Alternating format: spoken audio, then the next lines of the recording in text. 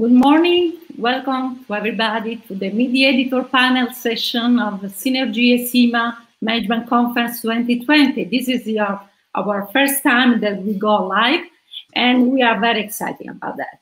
My name is Daniela Baglieri. I'm coming from University of Messina, and I'm going to chair this session, which is going to be very exciting and very insightful time that uh, and we thank you let me thank you our panelists for making their time and join us in this session. So please thank you for uh, Joachim Altman editor-in-chief of European Management Review uh, Shlomo Tarba editor, editor-in-chief of British Journal of Management Elisa Giuliani editor Research Policy Rajneesh Narula editor Journal of International Business Studies Alberto Di Minin, Associate Editor of R&D Management, Cleopatra Veloutsou, Editor Journal Product Brand, uh, Brand Management, and Alfredo De Massis, Editor of Entrepreneurship Theory and Practice. So thank again for making your time and for your uh, for sharing with us our your experience, your tips, your testing knowledge about your editorial uh, prior experience. So you know, publishing is very critical, as you as we know, as we experience in our career. Publishing is very critical. It's very sometimes very tough. It's a long journey, and but we um, we need to care about that for several reasons. First of all, because creating impact for society, which is the topic of this conference, is very uh, is very useful and it's timely. So we need to create some valuable research in order to turn this, this research to creating better society. So how can we convey, how can we deliver? So publication can be one of these channels. So we need to care about that. And we need to also promote some ethical behavior about that because we know that also publication is at the crossroad of several careers, especially for the young people, for the young uh, colleagues that I hope are listening. So we need to promote, to guide them, to promote, and to strengthen our national community. So publication is very, very critical. And we thank you uh, again, our panelists, because uh, I know that they they want to share with us all these tips and also and also to create some publication that can match, can fit rigor and relevance. That's very useful. So. Uh, we, we try to uh, split the time that we, we have in two parts. The first part is just a brief introduction. Uh, I will be, uh, I try to control the time, only five minutes of introduction uh, of our panelists because we want to uh, interact with the audience. We, know, we, we, we want to create, so please start preparing the, the question that you can submit in our channel, uh, in off chat on YouTube, LinkedIn, and Facebook page. So let's start. Let's kick off. Please, Yochanan, the floor is yours. Thank you. Thank you, everybody, and greetings from London. Um, I'm under strict instruction to keep to time, and uh, so I'll be brief. Um, I was asked to provide some tips about publishing, and I chose two. The first one is the cover letter or cover note. Um, as you know, uh, the publishing process is basically um, jumping over hurdles. Uh, it's a long journey, and and the first hurdle is quite is quite a high one, uh, and that's um, when your paper uh, lands on the desk. Uh, metaphorically speaking, now everything is virtual, of course uh, on the desk of the editor, the editor in chief, because the editor needs to make a decision, which is a cardinal decision, whether uh, to pass on your paper for review or reject it, uh, what we call desk reject. Um, and the question you have to ask yourself as a submitting author is how can I increase my chances of passing to the review phase? In other words, not to be desk rejected. And here comes to play uh, the cover letter or cover note, which often uh, people, particularly uh, the younger scholar, uh, don't make uh, use of or good use of. You see, uh, you need to sell your paper. Now, in the paper itself, you are restricted of how much you can sell it because you have to adhere to conventions. That includes the abstract, which is the first, if you like, uh, port that is seen. Um, you cannot oversell your paper in the abstract because you need to deliver it in the paper. Where you can try and oversell or really impress is in the cover note. So don't be shy about it. Uh, uh, when you submit a paper in the cover note to the editor, explain in detail why you think that your paper is the best thing since sliced bread and how uh, it uh, contributes to knowledge and why it is extremely practical and why it is of interest to this particular journal to publish it. And don't hesitate to uh, really be detailed about that. So that's the first thing uh, I wanted uh, to, to give as a tip. The other one, which is to an extent connected, um, is uh, plagiarism, and that includes self plagiarism. Uh, beware of that as from fire. Uh, because it's now standard practice that when you submit a paper, it goes through an automated um, similarity check. And the similarity check will detect whether your paper um, has already been published or grades parts of it or presented in a conference and available online. That creates uh, a couple of complications. One, uh, you know, uh, most journals don't like um, uh, to publish uh, material that is already in the public uh, domain. But there's also the issue of copyrights. In other words, copyrights legislation, and it is a bit vague, it is not clear cut, but copyrights legislation prevents you from uh, publishing the same material again because the intellectual copyrights are yours and you can use them as you see fit and how often you see fit. But the material copyrights belong to the publisher of the outfit that you published with, right? So be very careful about that. Um, don't overdo it. So that's my second tip. Um, I'm not sure how I'm about time, Daniela, but uh, I actually uh, finished my, my, my, my deliberation for the moment.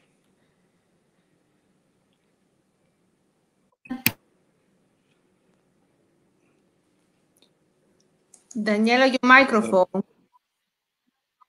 Okay, yeah, only one minute. I got another minute. That's wonderful. Yeah. Okay, so let me link back then the um, the second tip to the first one. So if you already published a paper in another outfit, then explain in the cover note why you are reusing some of the material. And if you are uh, using the same data set, which is normal practice, where you try, if you have a large data set, you try to publish more than one paper of it. Try to explain why that does not is not the same. That paper you're submitting is not the same is not quite the same as the one that already is published using similar material uh, using uh, you know similar language and so on. Again your chance uh, to convince is in your uh, covering note uh, to the submission okay Jochen, okay. thank you again Thank you for your tips, Thank cover you. letter, plagiarism. So they are very interesting and very uh, critical. So uh, now, uh, Shlomo. So Shlomo Tarba, uh, debutor, uh, deputy editor in British Journal Management. Thank you, Daniela. Uh, I don't want to be uh, repetitive and in addition to the excellent and valid points raised by uh, Professor Yochanan Altman, I would like to add a couple of things based on my experience. First of all, as a submitting author, later as a guest editor in many special issues in the leading journals in uh, international business and business strategy. I would say that one of the most critical things is the conceptual theoretical contribution that we are looking in British Journal of Management. And in this sense, the recency of your paper is absolutely vital. because if you are not able to articulate the novelty, the added value, in addition to the ongoing debate in our journal and other leading journals in the particular area, then obviously it dramatically reduces the chances of the paper. So it's not only the question of uh, whether your literature review is updated or not, it's how you actually articulate, how you elucidate the added value of your paper versus the existing knowledge in the field. In this sense, I have a couple of tips. First of all, I would suggest to look for a systematic review on that particular topic. If it exists, sometimes it doesn't exist, so you cannot find. Uh, based on my personal experience many years ago when I started my work on ambidexterity topic, uh, we have conducted with my colleagues, first of all, a comprehensive review. Later, we conducted a meta-analysis. It was the first ever published meta-analysis on ambidexterity. Uh, it was uh, published eventually in Academy of Management Perspectives. And that helped us to better realize what is the missing, what is missing exactly in the field, at what level of analysis. And this, how you can better articulate the added value in your own empirical papers if you conducted or if at least if you are aware of other systematic review and meta-analysis written by other colleagues. But that really helps to better realize the contribution for your own empirical papers. That is one tip. The second tip today i think it's very important to talk about enablers. It's not only today, of course, but today it's especially critical to talk about micro foundations of phenomena. Because in certain areas, especially in the international business, we can see a lot of studies that stay for already more than 25 years at the country level, at the regional level, but not going deeper into team, individual level. And I think it's really important to talk about the micro foundational level. How, for example, agility, ambidexterity, or any other phenomena, how we can break them down into certain clear processes at the individual or team level. That can also bring about some novelty, some contribution. How I, how, in terms of the time constraints, Daniela, do I have still time? One, one minute. One minute. One minute. And uh, of course, um, the multidisciplinarity that also becomes that also becomes a critical component. But here, in terms of multidisciplinarity, it reminds me the diversification strategy in terms of product and geographical diversification. Over to over diversify is quite dangerous because it can bring a disaster on the organizational setting but you need to find to what extent you want to diversify. Because if you are bringing in the same paper four or seven different theories from different fields, I think that it becomes really hard to understand what is your contribution. Of course, one overarching theory is very good, but over diversifying here would be dangerous, in my opinion. Thank you. Thank you, Shlomo. Thank you very much because, uh, for your tips that complement the previous one because you focus on the content. So where is the contribution, the, the conceptual contribution? So where is the knowledge gap you are feel, you are going to feel, how to feel, uh, how to feel this? And also the multidisciplinarity, which is a really a, a great topic. How can we manage? So thank you very again. So now Elisa, Elisa Giuliani, uh, thank you for your tips and special for organizing this uh, exciting. So thank you, double thanks. Elisa Giuliani, editor Research Post. Okay, so good morning. Um, I'm going to focus here on uh, gap and positioning of the paper. Um, as a general uh, tip, but also to overcome uh, the phase of desk rejection at research policy. So what makes you more likely that the paper go through to the reviewers? And I want to be very concrete. So I will uh, offer here an example that is not necessarily real, but is very realistic based on my uh, five-year experience with the journal now, first as associate editor and now as editor. So one of the typical pitfalls that I find in a lot of the submissions is that I get a paper on a really new topic or a really new uh, context of research, for instance, an industry or a country that has not been uh, investigated. And, and, and that is, is, is exciting, is new, but the theoretical setting, the research questions are very, very old. They are not original per se. Uh, they come from a very established tradition and they don't make any novel uh, contribution. So take, for instance, green innovation. We nowadays get a lot of papers on green innovation, which clearly phenomenologically is a very important topic given the environmental and climate change concerns that we have. So we want to know more about green innovation. But then sometimes I get papers that explore, for instance, very old questions like, does interorganizational uh, collaboration foster uh, green innovation? So it's the same question, but in a different setting. The setting is interesting, but the question is the old one, okay? So in our field, interorganizational uh, impacts and interorganizational networking impacts on innovative output has been uh, It's a topic that has uh, received a lot of interest, has attracted a, a lot of research, looking at the baseline, but also at the moderating and mediating factor and contingency factors of that baseline relationship. So clearly this is a very crowded space where it is very, very difficult to make a novel conceptual contribution. So, and especially when then eventually the paper corroborates earlier findings in another setting. So that's not the type of uh, uh, paper that goes through uh, very open or very easily the desk rejection phase.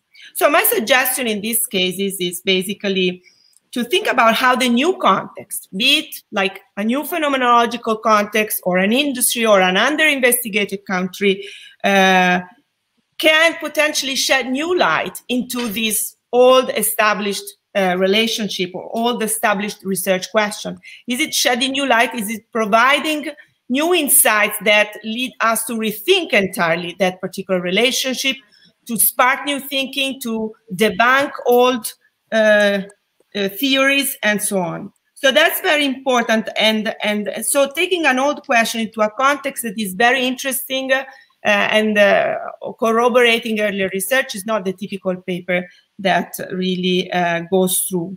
Uh, the reviewers will have the same kind of uh, concerns, so I don't, I, I try to spare their time and the time of the authors and I send it back to the authors.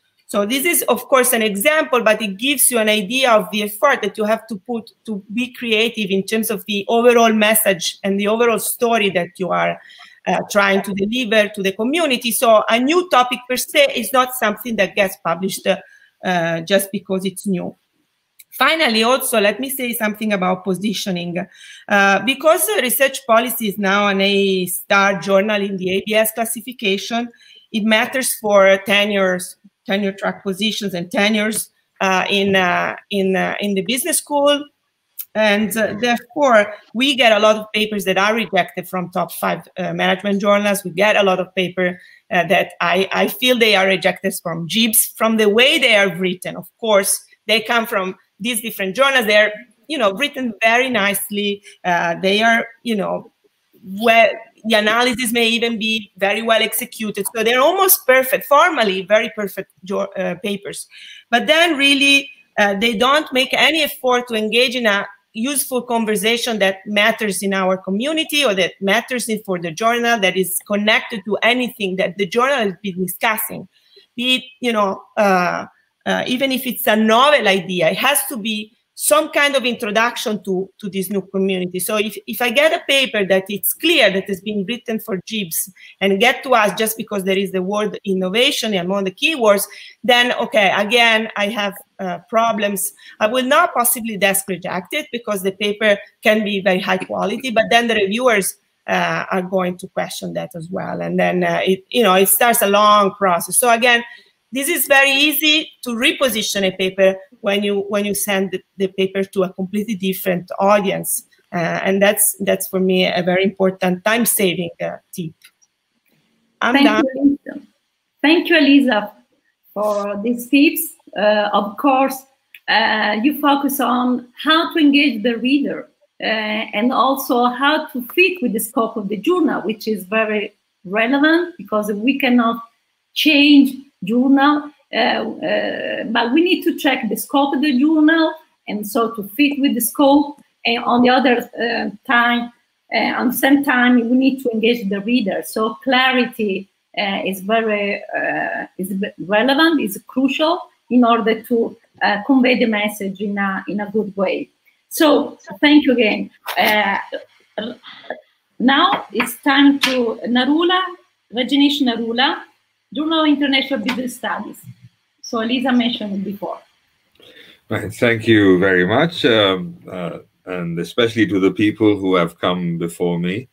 Uh, both uh, Elisa and Shlomo have made almost all my points, uh, so I, I, will be able to keep it brief uh, as requested. I think the I, I, really want to emphasize Shlomo's point about the that there has to be a conceptual idea uh, there and uh, but it's not always necessary. I mean there are papers which are have a make an important empirical point. Um, of course ideally uh, all papers should make um, uh, both but we don't that does not normally often happen. Nonetheless it is really important that the two connect. The number of papers that i see which have a make a conceptual point and then you go to the data and you find that there's actually not a connection between the two. Uh, and it's quite common. It's quite a common problem. Um, and sometimes people are also, uh, as a separate but related point, uh, authors spend too much time showing off how much they know.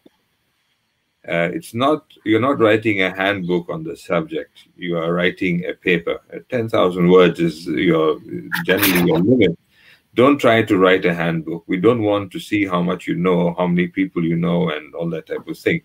It should get to the point fairly quickly. The, the space is a premium from an editorial point of view. I don't want to see, if I see a paper more than 10,000 words, there has to be a really good reason for me to be going there, even 8,000 words. Um, so I, I think uh, the earlier point made, I think, uh, by Altman was about the about how you present the paper um, use the introduction uh, because abstract is by definition a limited uh, scope, and I tend to not pay very much attention to what people say in the abstract because I think it goes to the, to the introduction, and the introduction should tell the reader why they should read the paper, and the editor is a reader. Uh, you need to connect it to the bigger picture it's not about one obscure test that you have discovered that will reveal a new uh, uh, aspect to the data. You need to tell us why why I should spend two hours of my life reading your paper carefully, and why I should not stop after the first paragraph. It's your job to do the selling, and a lot of people don't sell the paper. Don't waste your time with fancy titles. I, people who think that uh, it's that entertaining titles will will get more citations. There's no correlation. Uh, you know, frankly, uh, a good uh, title should be informative, not entertaining. Entertainment, I have Netflix. So um, you know, and then I think the last point I want to make is don't use a hammer to crack a walnut. Uh, this is one my my PhD supervisor made this point that uh, econometrics and statistics are only tools. You are illustrating a conceptual point. If you don't have to go over the top, there's no need to demonstrate to us that you took a lot of econometrics when you were doing your PhD. Uh, we're not giving you points for that. We're, we are it use the tools that are needed to make the point and don't get carried away with this. It's just painful to see 30 pages of tables as an, as an appendix and not knowing what to do with them because I really don't want to know. I want to get you to get to the point and do it in the simplest possible way that you are able to do. So I think I, I will, uh, the last, very last, if I have a minute, is to say there has to be a so what to the paper. It's not about doing a perfect paper, it's about saying, so what? What is the so what? And I need to see the so what in the introduction. I need to see the so what in the conclusion. There's no so what, you wasted my time. And I really, you know, I mean, I'm, not not known for my patience, but I don't think, you know, as, a, as an editor, you see the times you have so many papers, you are looking for a reason to, to go back to doing something uh, more productive than to look for the reason why I'm reading the paper. All right, I stop there.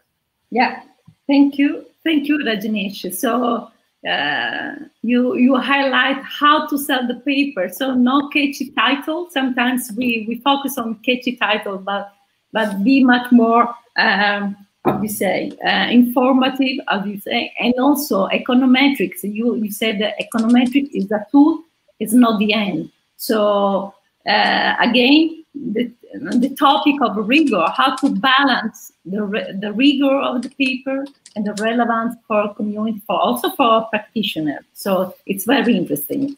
So let me introduce now uh, Alberto, Alberto Di Minin, Associate Editor R&D Management. Uh, Buongiorno Daniela, hello everyone. Okay, five minutes and the floor is yours.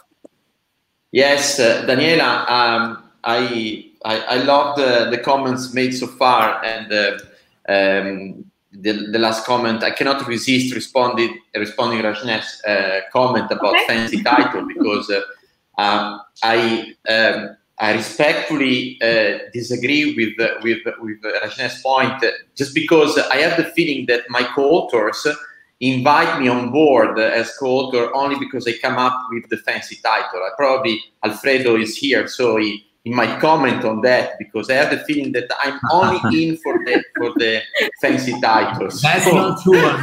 That's not so, Rajneesh, you are, you are keeping away, you're, you're stealing away my my, my core pieces here. So we love let me disagree so with you. That's your with, role. Uh, Please, Alfredo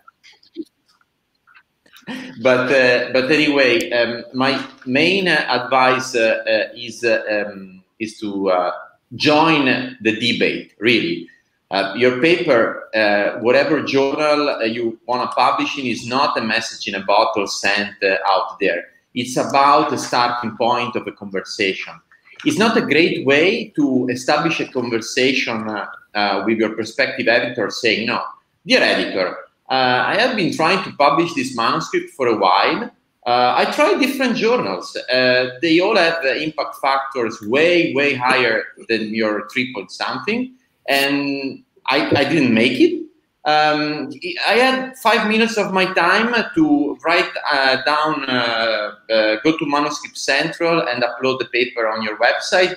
here you go, ciao. No, I mean, uh, you are definitely, if you're trying to do this, uh, you are in for a, um, a desk reject, even with, uh, with R&D management. R&D management is a um, strange, uh, peculiar, very uh, particular journal. Uh, we have, um, we have um, a, a, specific focus that you need to keep in, in mind when you submit to, to, to the journal. And uh, of course, uh, uh, let me make a simple example. before submitting a journal, before submitting to any journal, check if there is a, a special issue on the topic you are uh, planning to write. And if, if there is, uh, and you're not sending uh, to the special issue, but you're sending as a general submission, that really tells me something about the fact that you probably did not explore uh, the website of the journal. Uh, um, Giulio is uh, sending out the, the link to the, to the website of R&D management of the chat. we have a, a, community of practice that is clustered around R&D management, and that makes us a, a little bit peculiar. The type of conversation you want to establish is uh, somehow uh, also embedded in a discussion with uh, with practitioner in that um, community. So if you already sh show the editor uh, empathy uh, with uh, that uh, that community, um, is uh, uh, it's a good starting point. If in, in my life, in my last uh, 30 seconds, uh, let me make this point.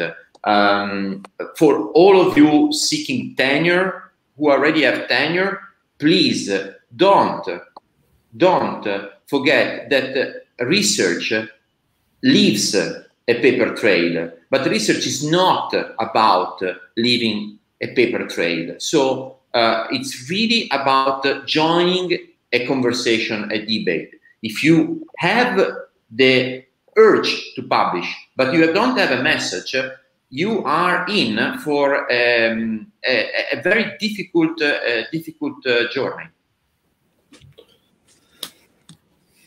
Okay, thank you, Alberto, for highlighting.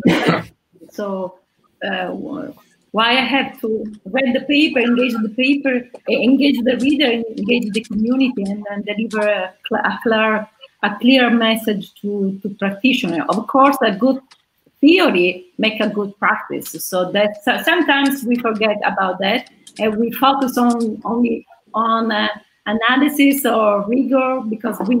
But again, I, I, I agree with your message. So now, uh, Cleopatra. Well, Hello, how are you? What a great honor to be here with you. Uh, I love Italians. Since it seems that this session is more focused on new career people, I am even more excited.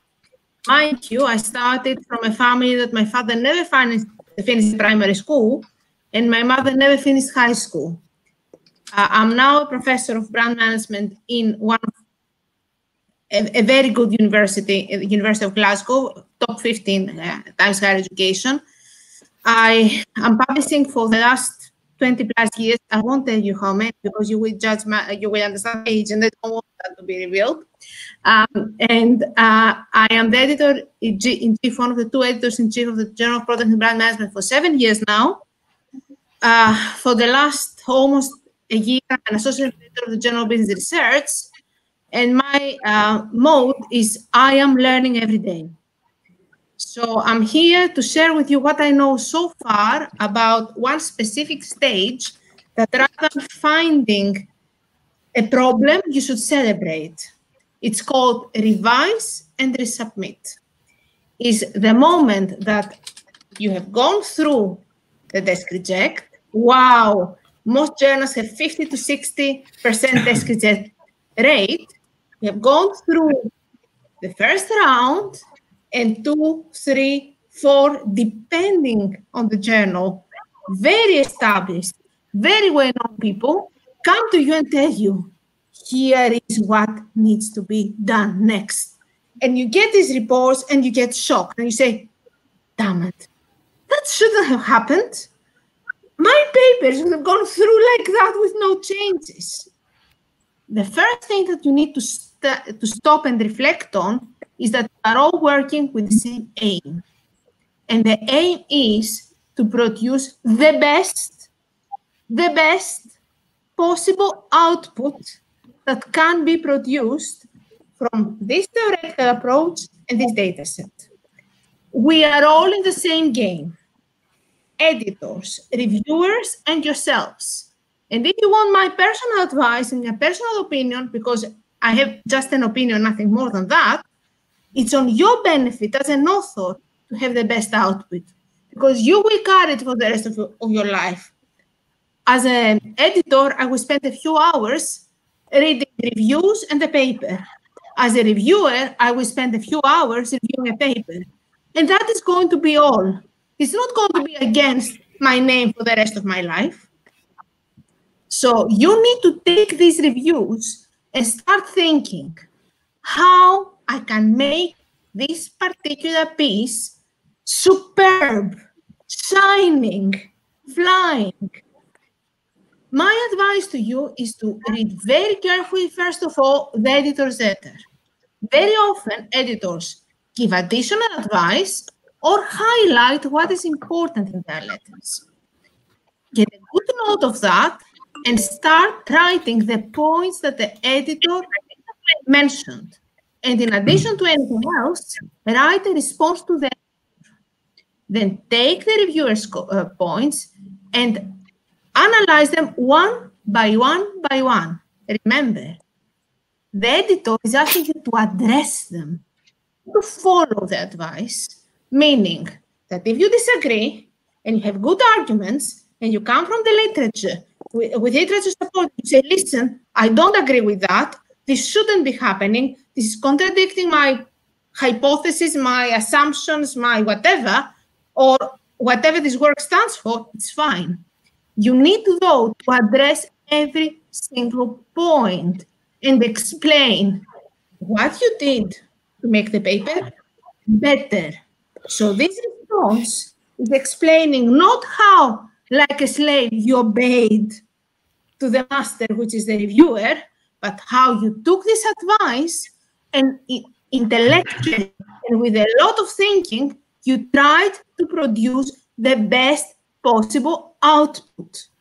That's the idea. That's all. It's on the editor's hands to see what you have done and agree or don't agree. The decision is always with the editor, not with the reviewers. I have accepted papers that two reviewers accepted and one rejected. I have rejected papers that there were two accepts and one a uh, uh, revision because I didn't feel that there was enough contribution.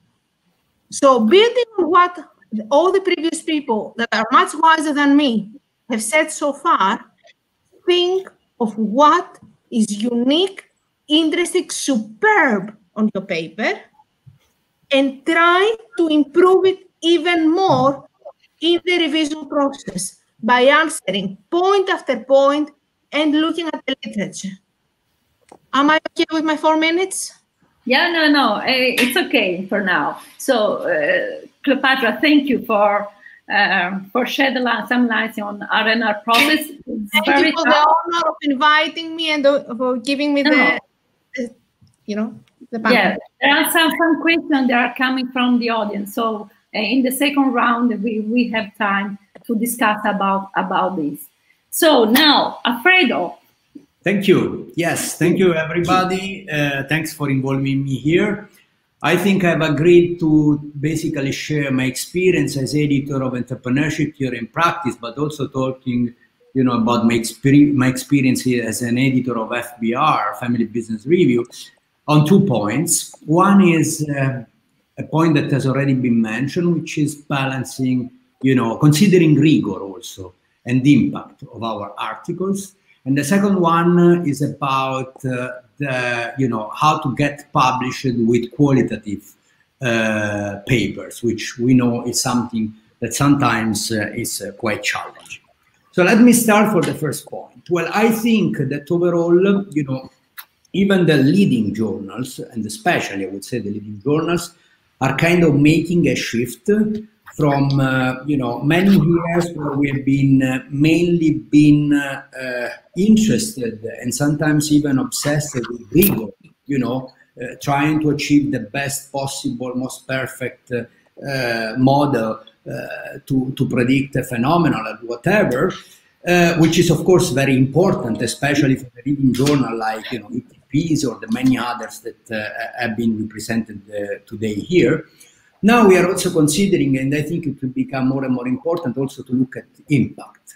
So why do papers that get published in leading journals, you know, besides being very well done, and we know that any study is of course characterized by, by uh, you know, limitations, but uh, why is it relevant? For whom? So my first advice here is that I see too much, you know, papers that take a kind of incremental path. What I mean is that people try to say, okay, let me study, you know, the impact of this variable on performance. What are the antecedents of this? How do this factor mediates or moderates that relationship? Right? Things like that.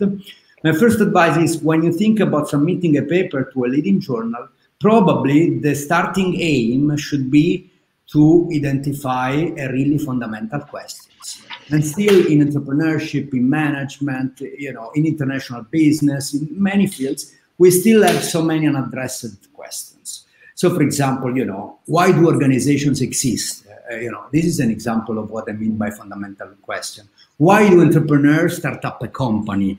Uh, you know, how does the current pandemic and its consequence uh, challenge the assumption that we have in a given field.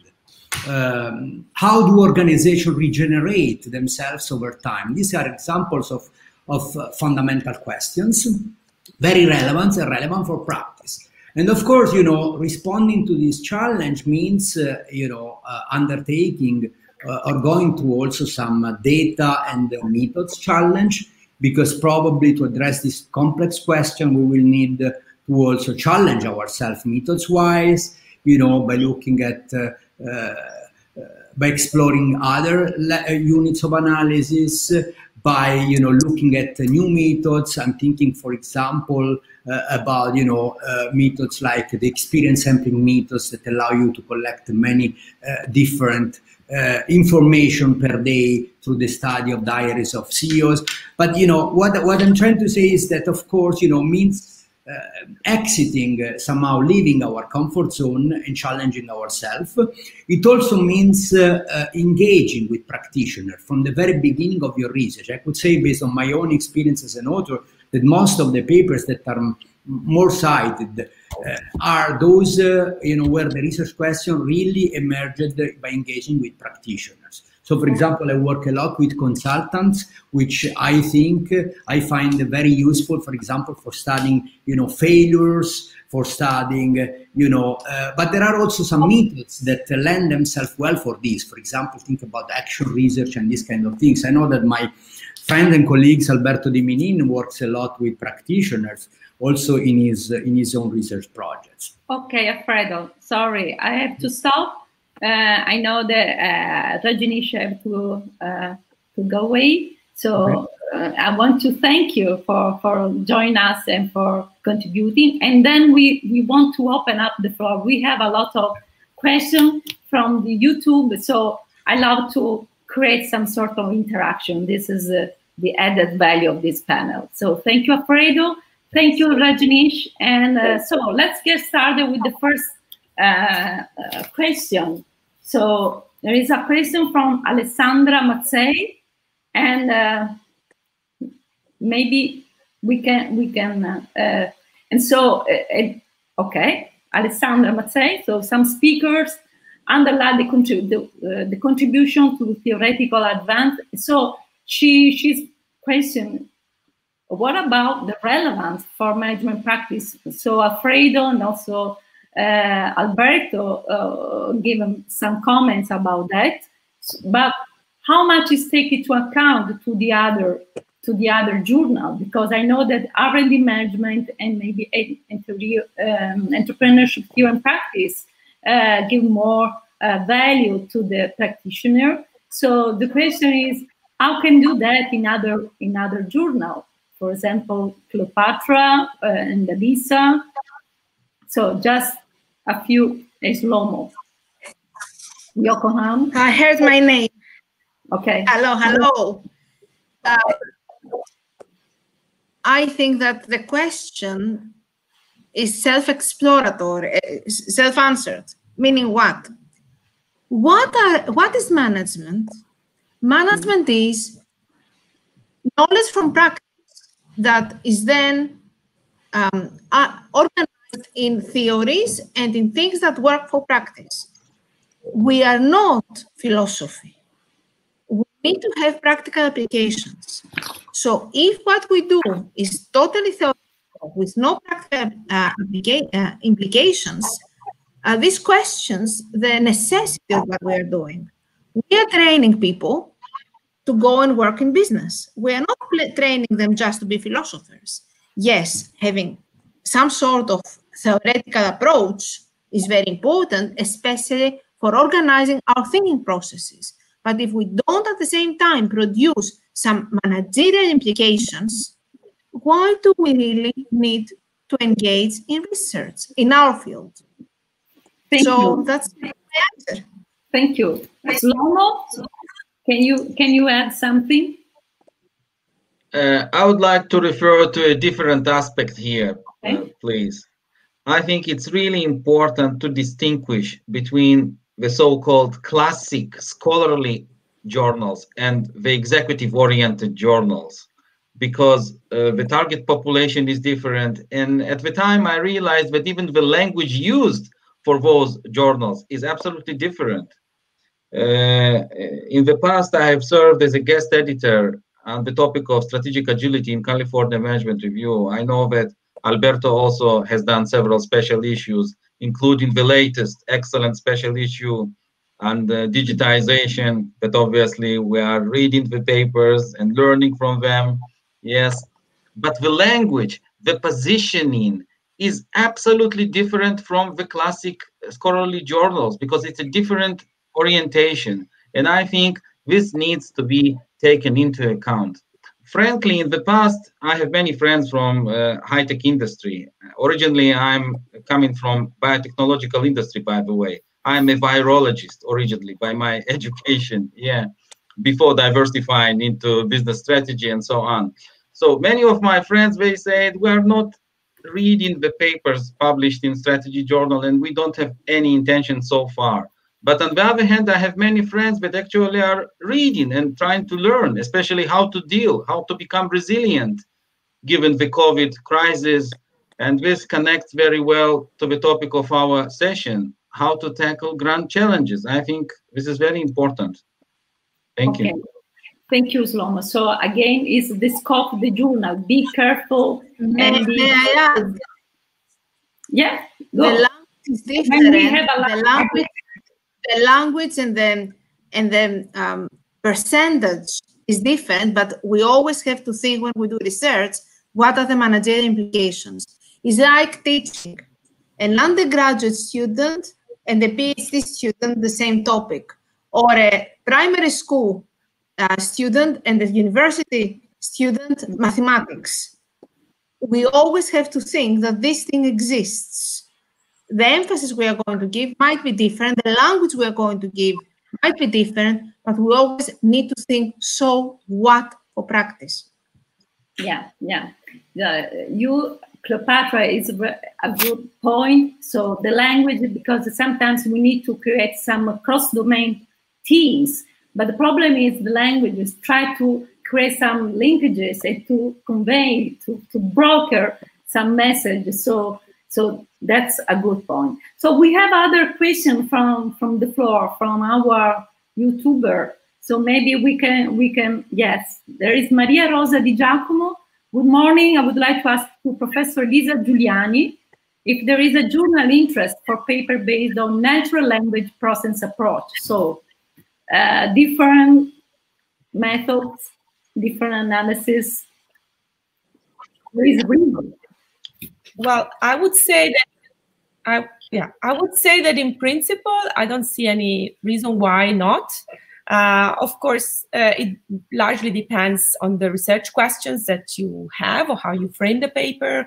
Um, uh, if it's just a purely methodological paper, uh, then we also have the option of uh, publishing uh, um, research notes that are smaller articles that have make a very precise methodological point, sometimes replicate existing empirical studies um, to point out some methodological issues or problems or caveats and so on. So we do have this double uh, possibility of using that methodology for for a paper where you know it's you make a bigger point or you contribute to the literature and we don't see i don't see why we should exclude this particular approach uh, i think it's very interesting we are very open to uh, we're very interdisciplinary journal as well so we are very open to uh, multiple uh, uh, methodological approaches. We are not very dogmatic, in fact. And but if it's just a methodological piece, then I would consider or think about considering uh, research policy research notes. I mean, the, the shorter papers, shorter okay. papers. So I have another question for all the panelists. Um, actually, this point has been raised from Cleopatra. So the R&R uh, process which is very tough sometimes. And sometimes there are two or three reviewers that make different and contrasting points. So from the perspective of the authors or the junior colleagues, how can I manage? How can I do that? Because sometimes if, if, if I want to be better, but sometimes I don't want to disappointing the reviewer. I can do that. Cleopatra? I can start. Remember, the paper is your baby. Hmm. you are going to send it to the kindergarten, to school, whatever, but it's going still to be your baby. So if you don't agree with the reviewers, you need to take the risk and say, listen, this is what I think that I contribute. This is what I want to be known for. I I don't feel that what the reviewer says makes sense, but put it in nice language because of such and such and such contradicts that and that, and stick to your guns. I've done it very many times. Some of my papers that are published in good journals went through like that. The important thing is to remember that all the reviewers, the editor, and yourself are aiming to the best output. And the reviewers are there to give you their advice as consultants. Okay. If you disagree, you need to have very solid evidence. Do not disagree in something very minor, add the paragraph, add two sentences. Chances are that you don't see their point if it is something that minor. If it is something major, you have very solid view. You might be the expert and they might need this and know this area into the periphery. You need to build arguments in your answer, not necessarily in the paper. Uh, many times, the answer to the reviewers ends up to be longer than the actual paper. Thank you, Cleopatra. There is another question that uh, shed light on conceptual uh, framework. So there is another, maybe you can, we, we can, yes, uh, about the theoretical contribution. Again, is very different theory, a different way to look into the research question, how to choose the best theory and how many theory can be incorporated. Again, is it the, how can we manage the multidisciplinarity? Sometimes there is some mismatch, yeah, also philosophical mismatch between the theory and the tool that we are going.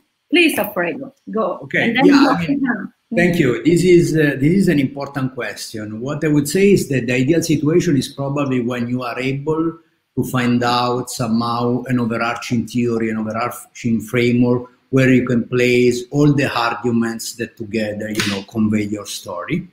However, this is not always possible. What is important, in my view, is that you try to be as uh, much parsimonious as possible in uh, picking up the theories. And sometimes you can also, depending on the nature of your study, craft a study where, for example, you pick up two theories and you try to integrate them and or to situate them probably showing the limits and the boundary conditions and how or uh, showing also how they complement each other so overall you know i would say that uh, having too many theories is per se not so good just because uh, uh, you know a, a good uh, a good theory uh, should be should be supported by a unifying overarching framework uh, just try to be uh, as much parsimonious as possible. Johan, I would like to yeah to hear your your point. You're talking to me. Yeah. Yes. Well, uh, I would recommend don't play with more than two theories at the same time in one paper. Remember, you only have 8,000 to 10,000 words typically. So, you know, if you think about it, you need to introduce uh, the topic, then you need to explain what you want to do. Then you have to do the methodology and the findings. I mean, you don't have the scope. It also depends what is exactly that you're trying to achieve. So sometimes if you want to contrast theories through your data, then obviously then that is the focus. Sometimes you want to uh, propose an alternative approach, an alternative theory to the uh, one, the consensual one existent. But overall, I, uh, it was said before, you know, in this panel, don't play with too many theories. Uh, it simply doesn't work for a paper.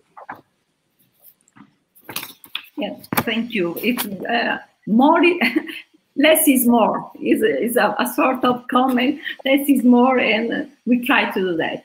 Okay, um, we, we the time is over. We are going to open for the open session. So I would like to thank you for uh, the interaction, for your panelists, and because I I hope that we can come away with something new that can get our uh, publication and our publish the journey, the long journey of publishing um, smooth and productive as well. So thank you for the panelists. Thank you for joining us, for your comments. It's very insightful, for, for sharing your, your tips and your passing knowledge. Thank you for the audience, for the YouTuber, LinkedIn, Facebook, and also thank you a very a warm thank you to the organizer, the local organizer, special thank to Elisa, to Daniele, and all the technical staff that are over behind in the so thank you again and uh, see we you. Thank we thank Sim and the audience, all of us. You okay. have been wonderful. Thank you for the invitation and for being so. Thank you. Okay. Thank Thank you. you. Thank you. And Thank you. next Ciao, year. everybody. Ciao. Ciao, ciao. Ciao, ciao. Bye bye. Ciao.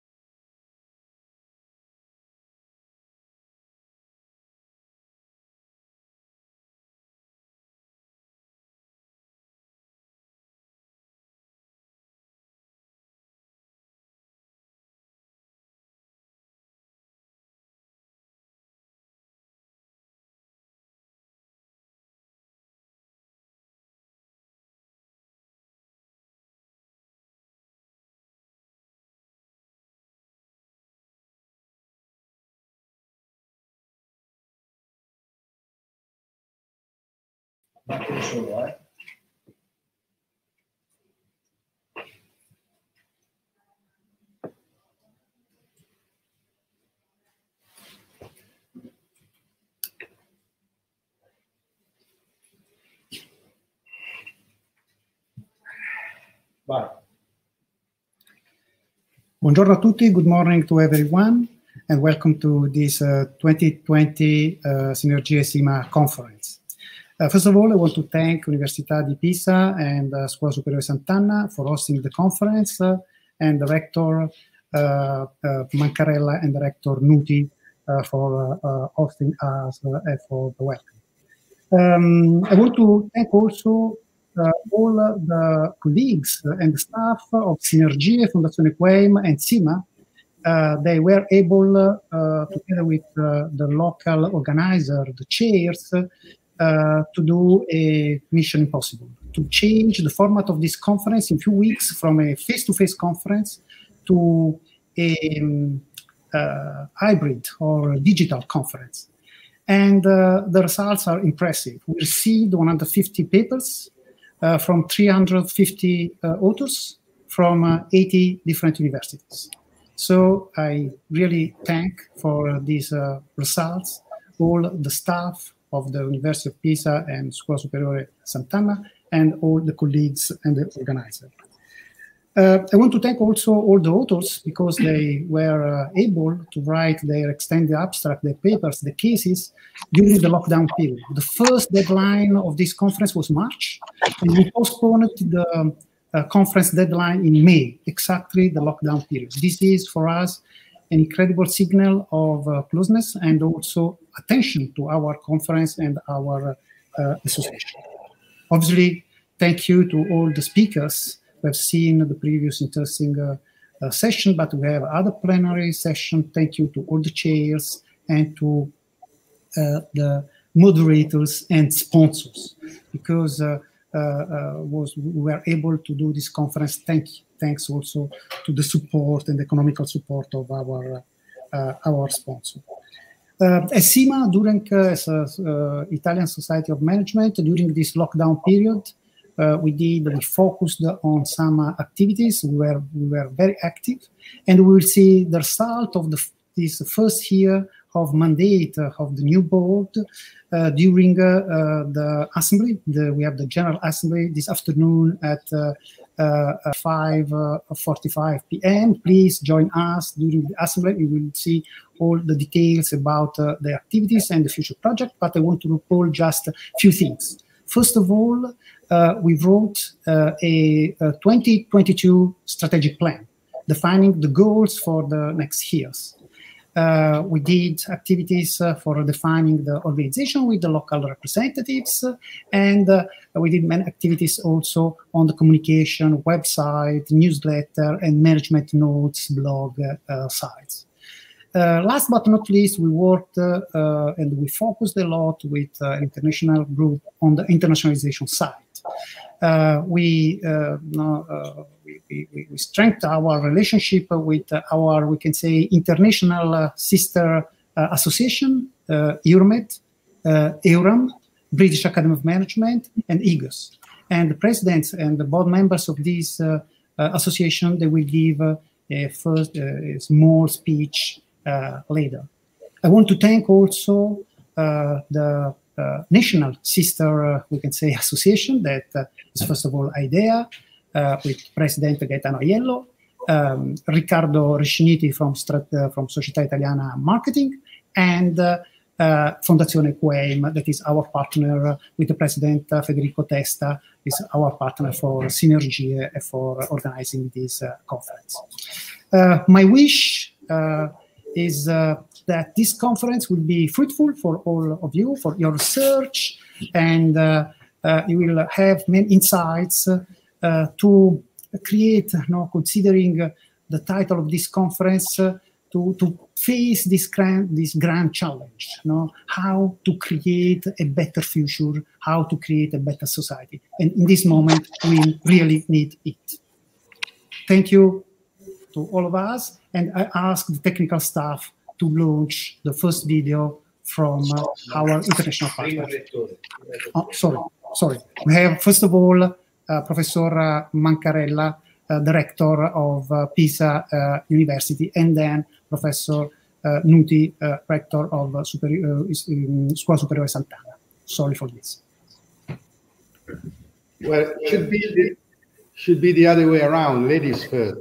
But anyway, good morning and welcome to the 2020 edition of this Sinergie SIMA conference, whose organization has involved uh, with great honor, I would say, and pleasure, our university, and in particular the departments of economics and management, aiming at a very high profile program on uh, as the relationship between uh, business and human rights. Leave no one behind. These words represent nowadays more than ever the cornerstones on which we should build our future. If you surely remember, five years ago, Antonio Guterres, the Secretary General of the United Nations, opened with this sentence our huge collective journey, the 2030 Agenda for Sustainable Development. A journey, unfortunately, still uh, uncertain and still leaving a great gap between words and action so far. Nevertheless, today we are dramatically called to order by the economic crisis the pandemic generated.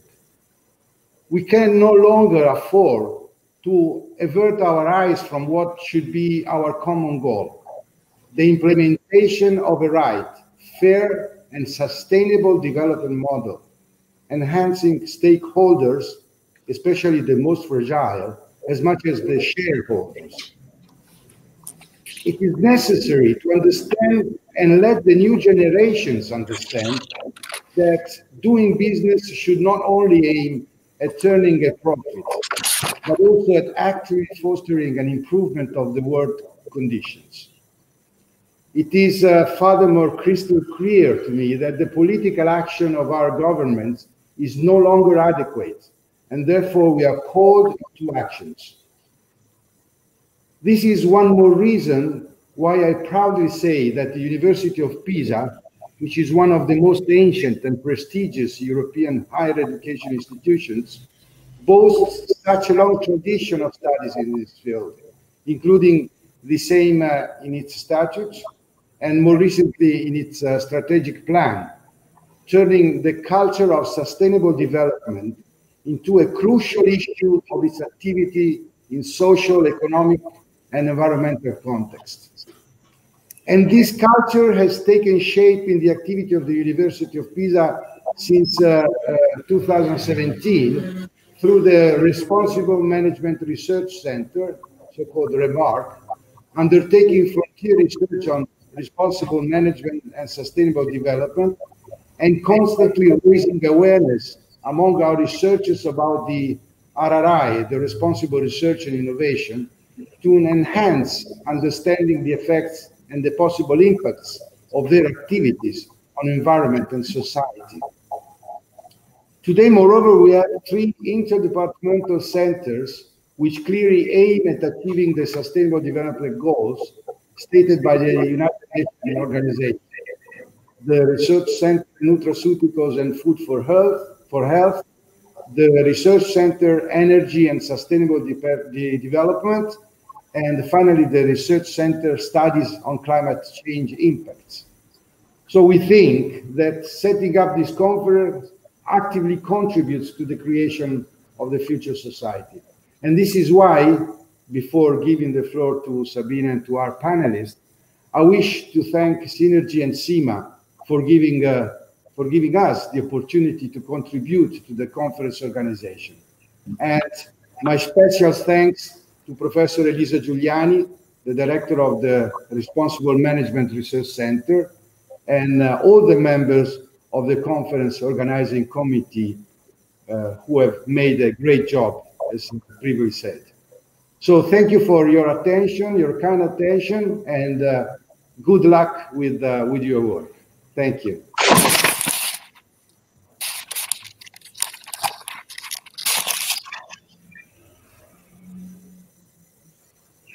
Sabina, please, it's uh, your turn. The floor is yours. Thank you. And uh, I'm really happy to be here today to welcome all you to this uh, conference.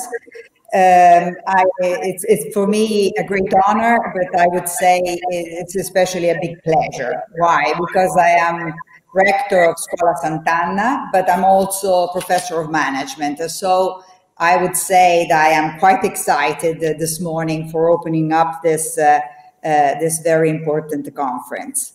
Uh, what is the message I would like to leave to all the participants? Well, I think uh, that uh, this historic moment is really particular for for researchers that work on management. Well, why? I was just reading uh, in this weekend uh, the, the draft uh, version of the strategic plan for Horizon Europe uh, for 2021, 2000 for the next years. And uh, what really uh, comes out from the new proposal is that we have to be able to put together what we always worked on, like innovation, like ecosystem, like new technologies, but we have to link them with what we call the European values. So we need to have our society able to uh, uh, work for uh, civil rights, uh, able to be inclusive and to be more resilient. And I think this is a really incredible challenge for people like us that wants to study and to research on management topics. Uh, especially, I, I, work in healthcare, and in these last months with the uh, COVID pandemic, we all, I think, we all realized like uh, how important are organizational and management issue if you want really uh, to to be able to resist a, situation like the one we are we went through and we are still going through. Uh, at the beginning of the pandemic, a lot of researchers uh, from other sectors uh, thought that we could uh, um, um we could predict with a very um, uh, sophisticated uh, mathematical uh, models what is will what could be now the future of the pandemic and the numbers. And then we realized that this wasn't really the case, that each uh, uh, country, each region, uh, uh each town uh, could have different type of situation and a lot uh, was linked to the type of organization issue, how the healthcare system was organized. So why I think this is important because I think this is our time. This is the moment where management professor have to really make the difference and uh, get their uh, contribution, put their contribution on, on the table to uh, help uh, our society, our countries uh, to improve. Um, I think that uh, um, I, I, I think to our institutions, Scuola Sant'Anna, we have uh, six uh, research institutes. One of the is management institute and is divided in three areas, uh, healthcare, sustainability, and innovation. Well, these three areas together uh, really should work uh, to, to, to, to make the management uh, field and approach really uh, inside uh, all the programs and the projects that we want to carry out, uh, for example, with the recovery plan. So I think this uh, conference, uh, it comes in the right moment. Um, I know there are really a lot of uh, papers and contribution also on the COVID pandemic. So I really think that the work that and the discussion that uh, will be done in, in this conference uh, can be valuable for all, for our country and for all Europe. So welcome to this conference and I will try to follow most of the, the conference because I'm really interested in what is going to be uh, the discussion that uh, will be held uh, during these days. So, welcome. Rector uh, Mancarella and Rector Nuti for uh, hosting the conference and for the, the insightful words. Uh, now we have uh, uh, the um, uh, greetings from our international partners. we will start with British Academy of Management President Nic Beech, then with EURAM uh, Uh, president, uh, Catherine uh, Möslein, and uh, uh, the mm, member of the board of EGOS, our colleague Luigi Mangia. We will close this video with the greetings from AIDEA and the president, Gaetano Aiello. I asked the technical support, the technical staff to launch the first video from British Academy of Management.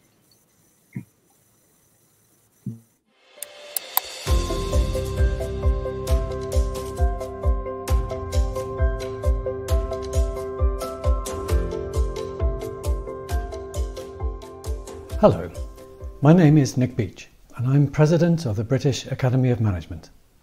Thank you both for your invitation to this conference and for this wonderful opportunity to become a partner. In particular, I would like to thank Professor Sandro Castaldo, President of SIMA, and Professor Arabella Mocciaro Li Destri, who has been very generous with her time and worked so effectively in establishing our collaboration.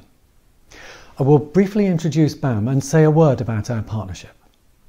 BAM was founded in 1986 and now has over 2,000 members. We started in the UK, but it is our desire to work with colleagues around the world to expand the knowledge and understanding of management and to support academics in our field. We operate in four main sections management knowledge and education, capacity building for members, special interest groups, and research. Through our partnership, we look forward to working together and welcoming SIMA members into these areas of activity and to joining you in your projects. We have 22 special interest groups and run around 50 workshops and symposia on special subjects each year. This is in addition to our main conference with around 1,000 participants and our doctoral conferences. We have a framework and training events to support academic careers, and we have two highly ranked journals in the field. In addition, we are in the process of adding a third journal, and we seek to support members and partners in publication activities. We also collaborate in providing grants for research, and we're particularly keen to foster international studies that can influence both theory and practice. You will have realised partnership is a watchword for us, and along with SIMA, we are working with ANZAM and IAM and believe there are many opportunities for us to work together to build a voice for management academia and to support the research, teaching and policy engagement of our societies. We are truly delighted to have this new membership scheme with SIMA and the joint grant, and I want to end by saying a heartfelt thanks on behalf of all of the BAM membership. We look forward to getting to know you well and to a productive, enjoyable relationship.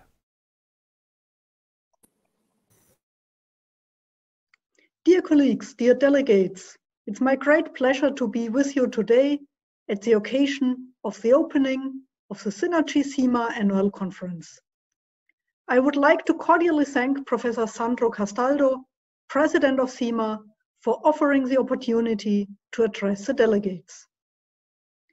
This year is challenging for all of us.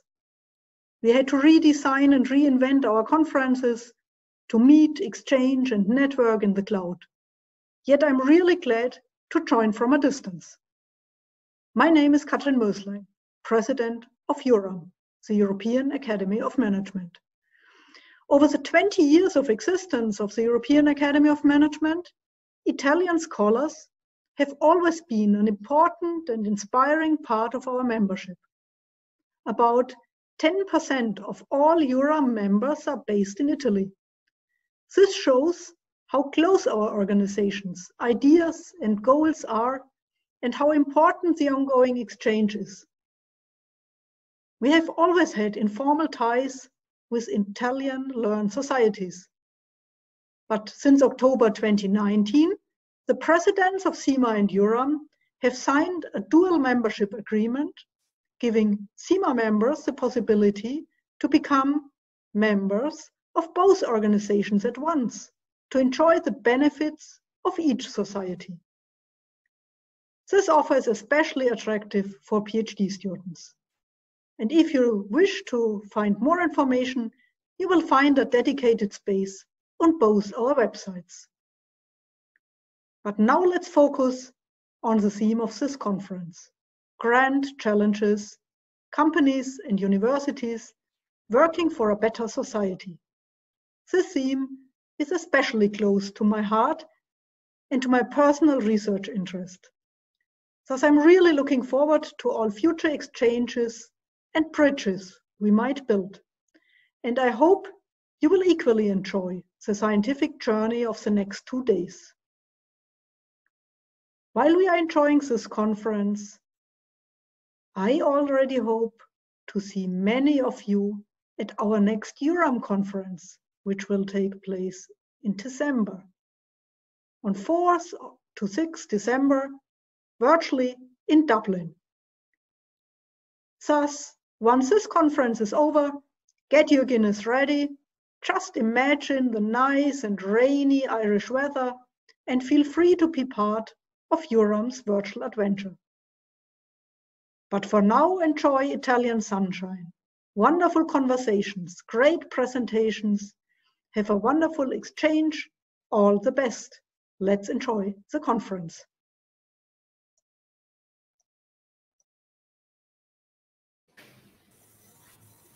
Thank you, Sandro, and thank you for your kind invitation. Really, very, very much uh, appreciated.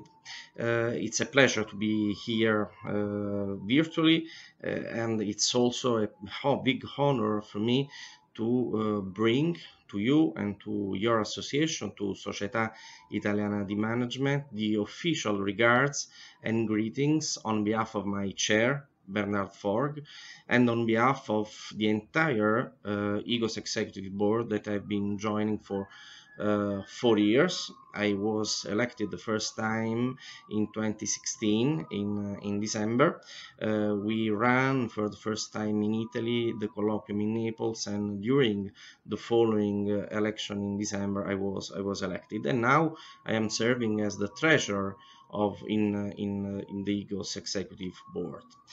Uh, just a couple of words on on uh, my on the association that I am representing, and it's really uh, a big honor for me. Uh, EGOS is, as you know, the European Group for Organizational Study.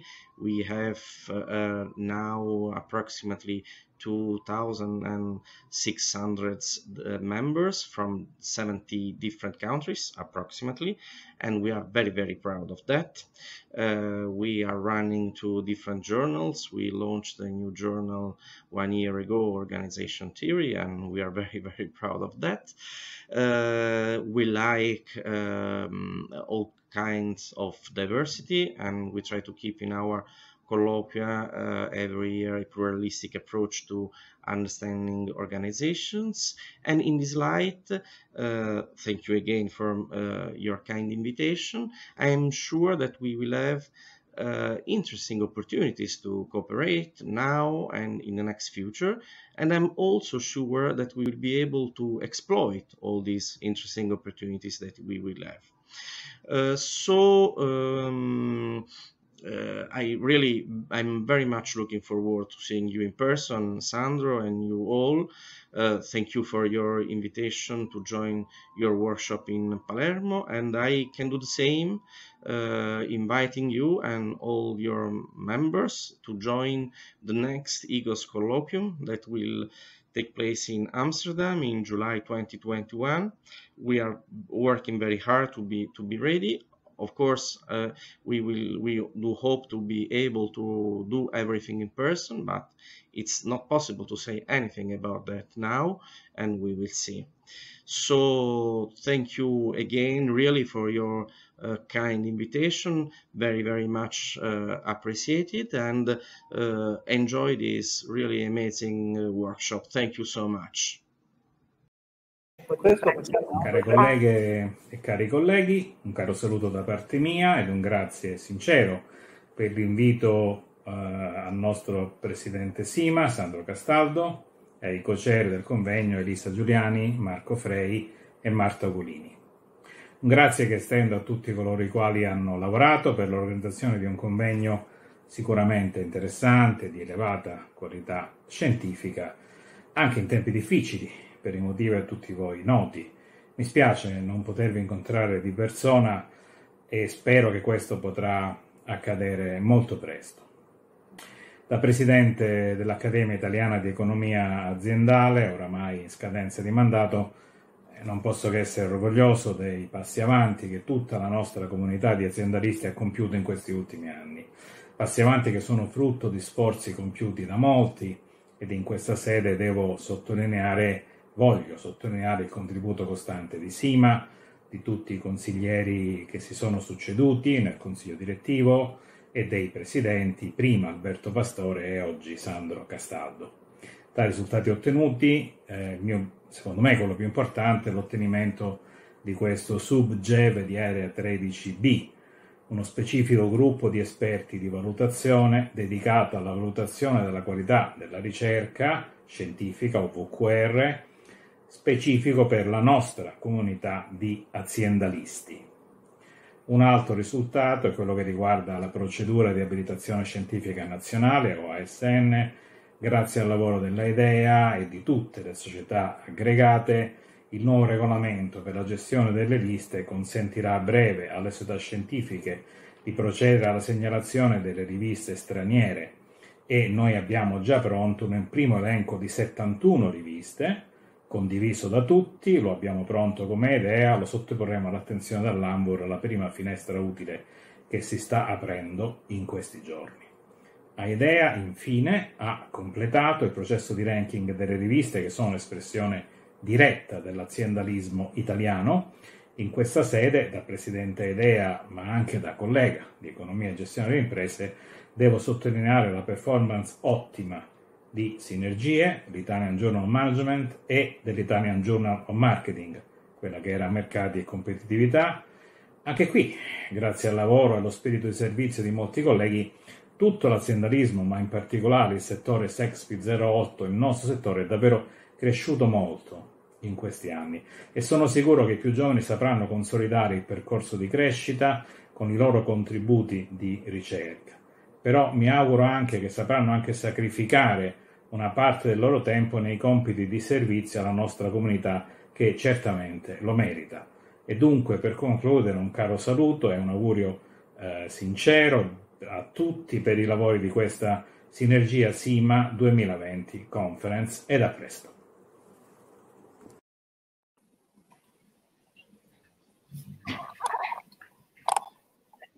Now I leave the floor to Professor Riccardo Resciniti, President of uh, SIM.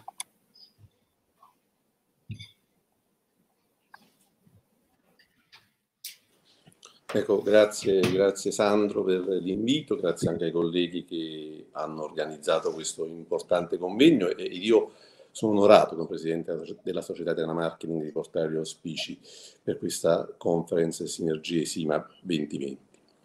E il primo, il primo auspicio è proprio quello che, che questa conference risponda al, al, suo bellissimo titolo, che mette in evidenza l'importanza della collaborazione tra università e imprese per migliorare la società.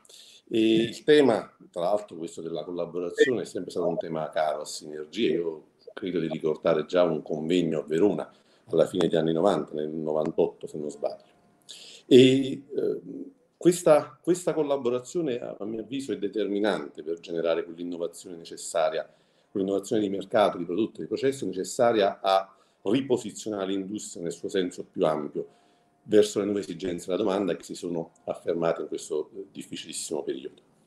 Eh, ci saranno trasformazioni nei settori molto forti, rilevanti, probabilmente nuovi settori nasceranno e, ed è ormai evidente che per fare business occorre è importante un forte orientamento all'orientamento sociale, ai suoi nuovi bisogni, diciamo nuovi, antichi e, e fondamentali bisogni, quello della, della salute, della sicurezza, l'abitazione, la solidarietà. In questo senso credo che la società non sia soltanto la beneficiaria di questa collaborazione tra imprese e università, ma ne sia proprio l'ispiratrice. Ed è altrettanto evidente che il marketing è essenziale per le imprese per trovare questa migliore sintonia con la domanda, in un nuovo approccio che deve essere soddisfacente, e questo ormai è evidente, tanto per gli individui, tanto per la collettività. E da questo tema eh, del, ruolo, del nuovo ruolo del marketing che si va a inserire in questo contesto, che sarà oggetto del convegno di quest'anno, della, di eh, Sinergie SIMA, e a questo tema è dedicato anche prossimo, la prossima conferenza SIMA che avrà luogo il, 28, il 29 e 30 ottobre a, alla LIUC e verrà poi naturalmente, come avviene oggi un po' per tutte queste conferenze, realizzata in modalità online e io sarei molto, molto contento, molto onorato che tutti potessero partecipare anche a questo altro evento che si annuncia eh, molto molto interessante. Per cui con questo invito e con un uh, ulteriore ringraziamento agli organizzatori saluto tutti e auguro buoni lavori.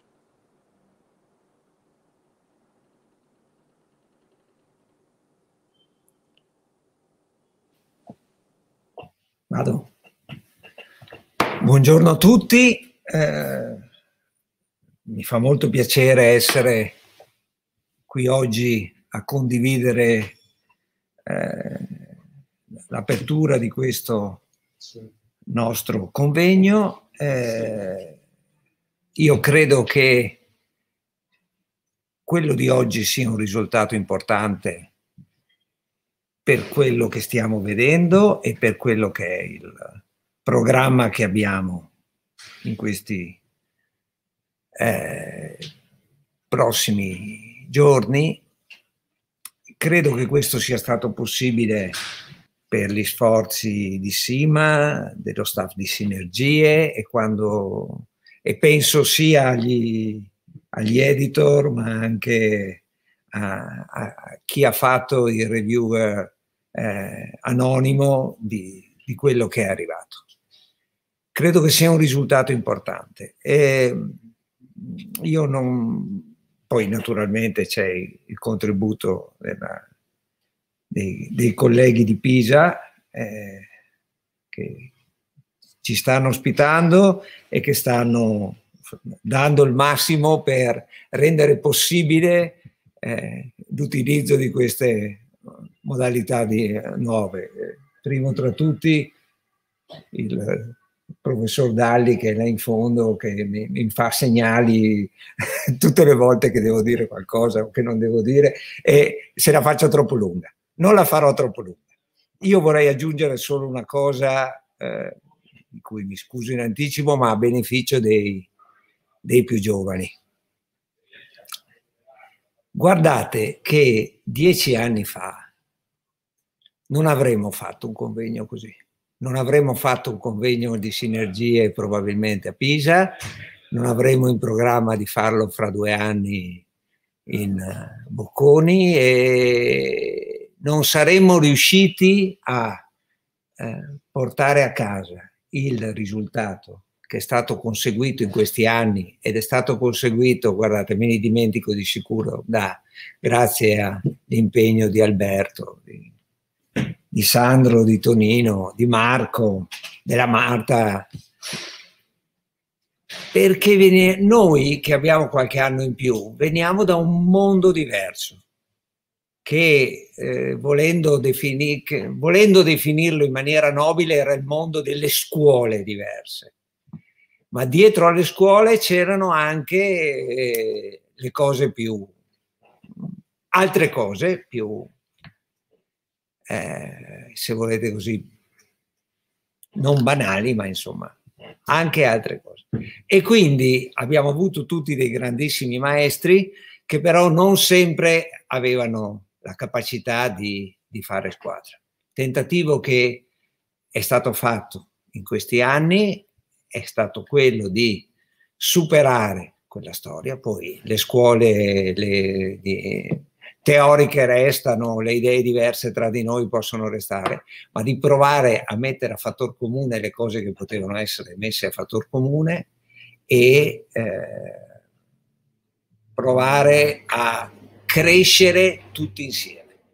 Questo convegno che stamattina Marta mi diceva a 280 partecipanti in un momento come questo, fatto in queste modalità, è, è il segnale che eh, siamo sulla, sulla strada buona.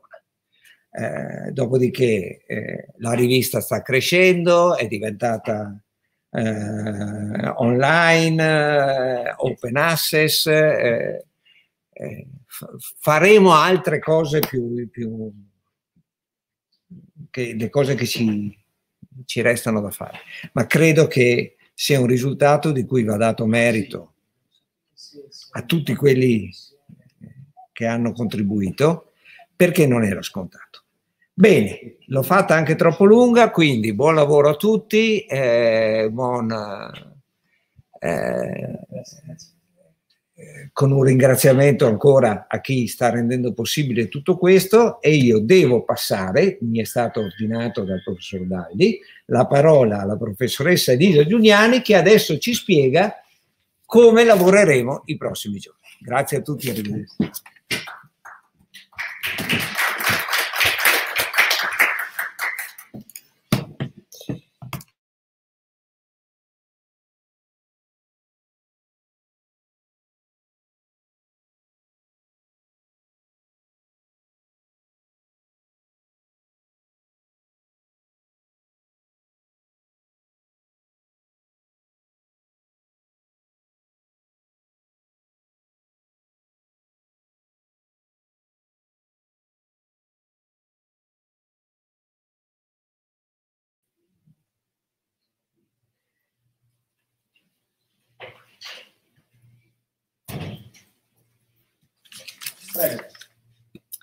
So welcome everybody. My name is Elisa Giuliani. I'm a professor of management at uh, Economia e Gestione delle Imprese here in Pisa. And together with uh, Marco, Marta, and Sandro, I chair uh, this uh, year's Sinergie SIMA conference. I'm honored of this invitation and pleased uh, to introduce you to the core themes of this conference, which is on grand challenges and how the business sector and the academia can work to address pressing societal and environmental problems. Last year's conference in Rome was also on sustainability and how to create shared value in the digital area. But this one on sustainability is an ongoing conversation which deserves more consideration. Uh, since last year, it also became clear that we all need to address and uh, sustainability challenges and we all urgently need to act. Demands on tackling climate change um, have become more pressing, also thanks to the visibility received by the Greta Thunberg movements, among others. And the current COVID-19 pandemics has exacerbated social tensions and made it uh, crystal clear that we need to act against economic and social inequalities. Of course, the business sector and the academia are both crucial to fix problems uh, or prevent future sustainability catastrophes. And I think it has become now impellent to train future managers and entrepreneurs about these pressing sustainability challenges and also to rethink capitalism, giving it a second, perhaps last chance. Uh, I think we have an exciting program at this conference uh, to address these issues, uh, both in the parallel sessions and, of course, in the plenary sessions which involve both practitioners and academics who have taken this challenge very seriously and I hope will spark new thinking, new ideas about how to address these problems, um, which of course is important for both teaching and for inspiring new research and to know more about these things. Last but not least, uh, we have another responsibility, which is to make sure that not only education, but also research uh, scientific research is moving in the right direction. We have experienced uh, enormous transformations in the past few years uh, about the expectations of scientific research in our field, also in other fields. And that has come with a greater demand of internationalization of our research output. However, greater internationalization makes sense only if it comes with greater quality, not uh, lower quality. So I think in this context, the panel on predatory publishing is both very relevant and timely, and I hope all of you will be able to attend. Without further ado, I will now leave the floor to Arabella, who will introduce our distinguished speakers for today. Thank you. Good morning. Uh, let me give you a very warm welcome to the first keynote speaker session of this uh, Sinergie SIMA Management Conference in Pisa and virtual 2020. I'm Arabella Mocciaro from the University of Palermo, and I have the pleasure of playing the role of a chair in this session with two exceptional keynote speakers. Let me introduce you the keynote speakers first of all, and a little bit of rules of the game, and then we will proceed. Our first keynote speaker is Mette Morsing. She is Head of Principles of Responsible Management Education at the UN Global Compact Center in New York.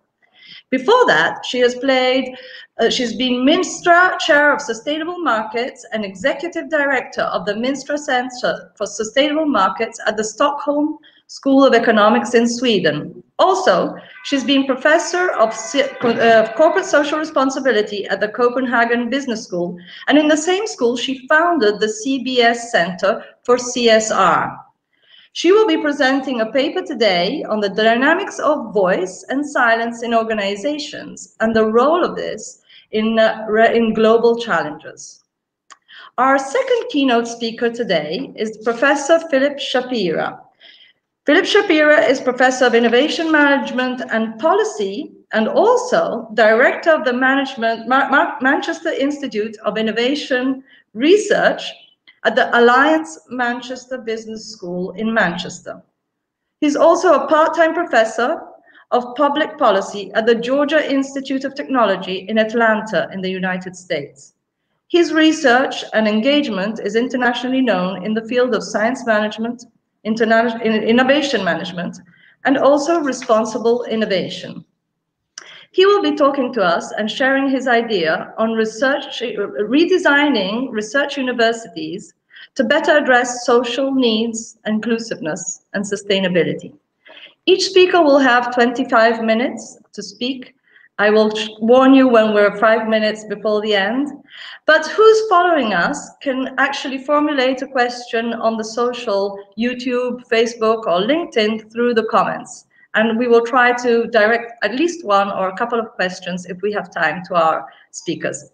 So without taking more time away from our keynotes, let me invite Mette to uh, take the word, please. Thank you very much, Arabella. I will just start by sharing my screen. Um, okay.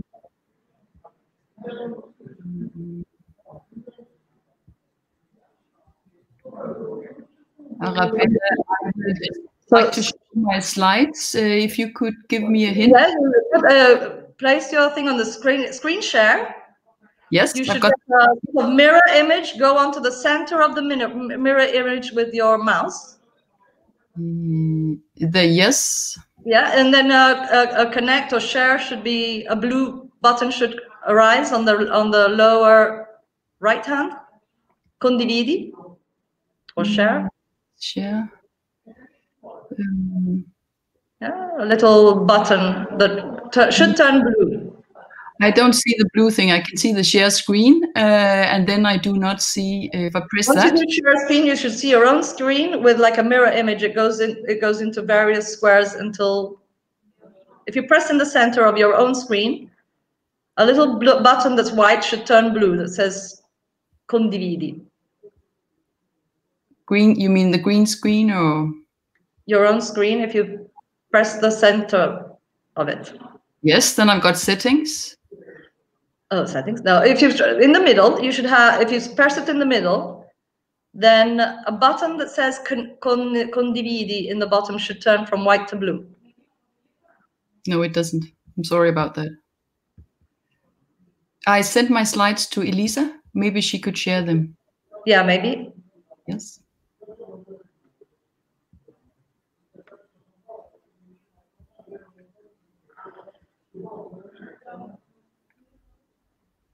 If you try again, if you press share screen. Yeah, I think it comes here. Does it show now? No, not yet. Oh, yes. Great. Thank Fabulous. you. I'm sorry about Thank that. You, very much. you will just see the screen. Don't worry if you don't see yourself. I'll be telling you when five minutes are left. Okay? Thank you very much. Thank you so much, Arabelle. Thank maybe you should look at it, put it in presentation mode. Yes. I will do that. Mm -hmm. Yes, thank you so much. Thank you so much for this warm welcome uh, to the uh, Italian AOM Academy of Management, the Sinergie SIMA Management Conference in Pisa. I would have loved to be there with you. I've been looking very much forward to this speak, and it's a big honor to be invited to uh, talk about something that I think is of uttermost importance for the global challenges. And it may be seen on a daily basis as this is just talk, because what I'm going to talk about is communication and CSR communication. Or if you like, how we speak about sustainability, sustainable development, and including the sustainable development goals, which is something I work with on a daily basis in my job as head of PRME with the UN Global Compact. So what I'm what I'm uh, doing right now in my current job is actually what this the theme of this conference very much has to do with how we as universities engage with businesses to advance sustainable development. And an important dimension of that is the communication. This is what I've been researching on for the past 15 years. Uh, so is how do we frame, how do we inspire each other? How do we engage in the global challenges? Uh, and, and how do we, uh, by words, actually set new agendas, hide some agendas, emphasize others, and focus on those agendas that are topical or of particular importance in our region of the world or in a particular time uh, of the world. As we know, sustainable development is uh, an an uh, emergent phenomena, and what we focused on and what we talked about 20 years ago is not the same that we talk about and that we focus on today. So I am uh, here focusing very much on the uh, ideas uh, that are to do with speaking and silence of uh, communication on uh, corporate social responsibility. And I, I want to uh, emphasize in this speak today on the two opposing forces that a lot of businesses are experiencing this day. And that is, on the one hand, there is an increasing demand to articulate and document your CSR activities. So we see that from big uh, multinational companies to their suppliers, small and medium-sized enterprises. We see that expectation also in new EU Commission uh, requests and documents. We see that from the World Bank. We see that in a lot of national and international, transnational institutions, the quest for business to articulate and document their CSR activities. And for good reasons. Uh, because there is a need for more transparency and to be able to actually see through what are businesses uh, contributing. But on the other hand, and this is something that been engaging with a colleague of mine, Professor Laura Spence, for quite some years now, we also see, and in particular, when we look upon small and medium-sized enterprises, uh, we also see that there is a respect and trust in living and being the CSR values that there is a, another dimension about not speaking about your CSR activities, but rather doing them and actually living your values. So we've been interested for quite some while in this dichotomy on these two opposing forces that seem to be uh, presented to, to businesses, and in particular to small and medium-sized enterprises. So our interest is here in really how do businesses engage uh, in between these two opposing forces. And we refer to this as implicit and explicit uh, communication. And if we look upon uh, the research, there is over the past 10, 15 years, a strong research that has developed on CSR communication, focusing very much on the spoken word, on the written word, on uh, documentations, on standards, on labels, and how we advance CSR and sustainable development by emphasizing on communication. And I'm just mentioning a few uh, of the illustrative examples on CSR communication research. I think it's fair to say that CSR communication research is today an elaborate field of research. What is less uh, sort of um, researched into, and this is also a, an encouragement to, to you to sort of, uh, who may be interested in these areas, to explore into the future. What is less looked into is sort of organizational uh, talk that is um, uh, say sort of more implicit and more silent, the organizational silent talk. And I was looking through some of the references and some of the literature in, in my work with Laura Spence, and we were looking upon these two um, sort of uh, really good uh, and, and, insightful pieces of research uh, from Administrative Science Quarterly and, and, and in Academy of Management Review. And interestingly, both these references and with them others also uh, regard silence in a quite critical tone. So silence is often treated as something we would like to avoid. We would like people to speak. Sometimes in the research, it is almost as if the more you, you talk, about your CSR, the better. And we sort of question that based on our uh, empirical work and our uh, over a long time with, in particular, as I said, small and medium-sized enterprises. Because it seems like uh, small and medium-sized enterprises have a preference for what we here label implicit CSR communication. And that has very much to do with the values, often the values of the founder of the small and medium-sized enterprise. It has very much to do with the ethos uh, of his or her personal uh, integrity. It has very much to do with the family that's owning and running the, the small and medium-sized enterprises. Um, communication is often informal dialogue uh, with local partners and with stakeholders. It's got something to do with uh, being there more than talking about it. So in our empirical study, we, we met quite a few owner managers that were that were sort of saying, I don't want to talk about this. I mean, I feel embarrassed about telling how many disabled people I'm actually helping in my in my uh, shop or in my uh, organization. Or it doesn't matter uh, to sort of talk about how I actually engage in the local community, helping by you know avoiding pollution, uh, because this is something I do, because that is just the way I am, that is what I believe in. So even sort of measuring, you could say, and communicating about the CSR action in terms of how does it relate to uh, the, the um, financial advancement of, of the organization was less important for many of the small and medium-sized enterprises. Uh, so, but yet, on the other hand, these uh, small and medium-sized enterprises, these owner managers, are at the same time more and more encouraged to, uh, and some even you could say, uh, not just encouraged, but also regulated and asked to specifically by their multinational customers to report on what they actually do. So they need to talk about their CSR action. They need to show codes of conduct and how they comply with those codes of conduct, and they need to uh, align with certain standards and certifications. And in, in a number of countries right now, um, the, there has been sort of regulatory frameworks developed to direct and guide CSR communication, which has very much focused on the larger firms.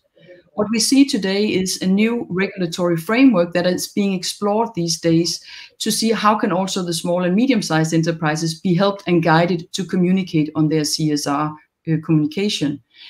So uh, we've been asked by the some of our colleagues and the local network of Global Compact in Denmark to discuss uh, with them in a new study we're doing right now on small and medium-sized enterprises.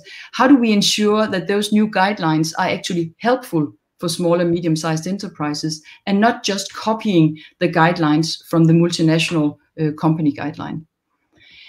So we are we are sort of interested in this. You could say we we, we call it these opposing forces. On the one hand, the need for more talk for the SMEs. On the other hand, also an appreciation of the silence that we call it here, or the implicit uh, CSR communication that seems to be uh, very important for uh, SME owner managers in our paper in Human Relations uh, that we published last year, we developed the framework, and I'm not going to spend too much time on it, but just to show that uh, we were sort of inspired by Foucauldian uh, research, uh, talking about the, you could say, sort of the governmentality of how uh, the quest for CSR communication, explicit CSR communication, uh, is occurring in policies, strategies, in compliance with standards, in integration of external standards, into operational practice for the SME on the one side.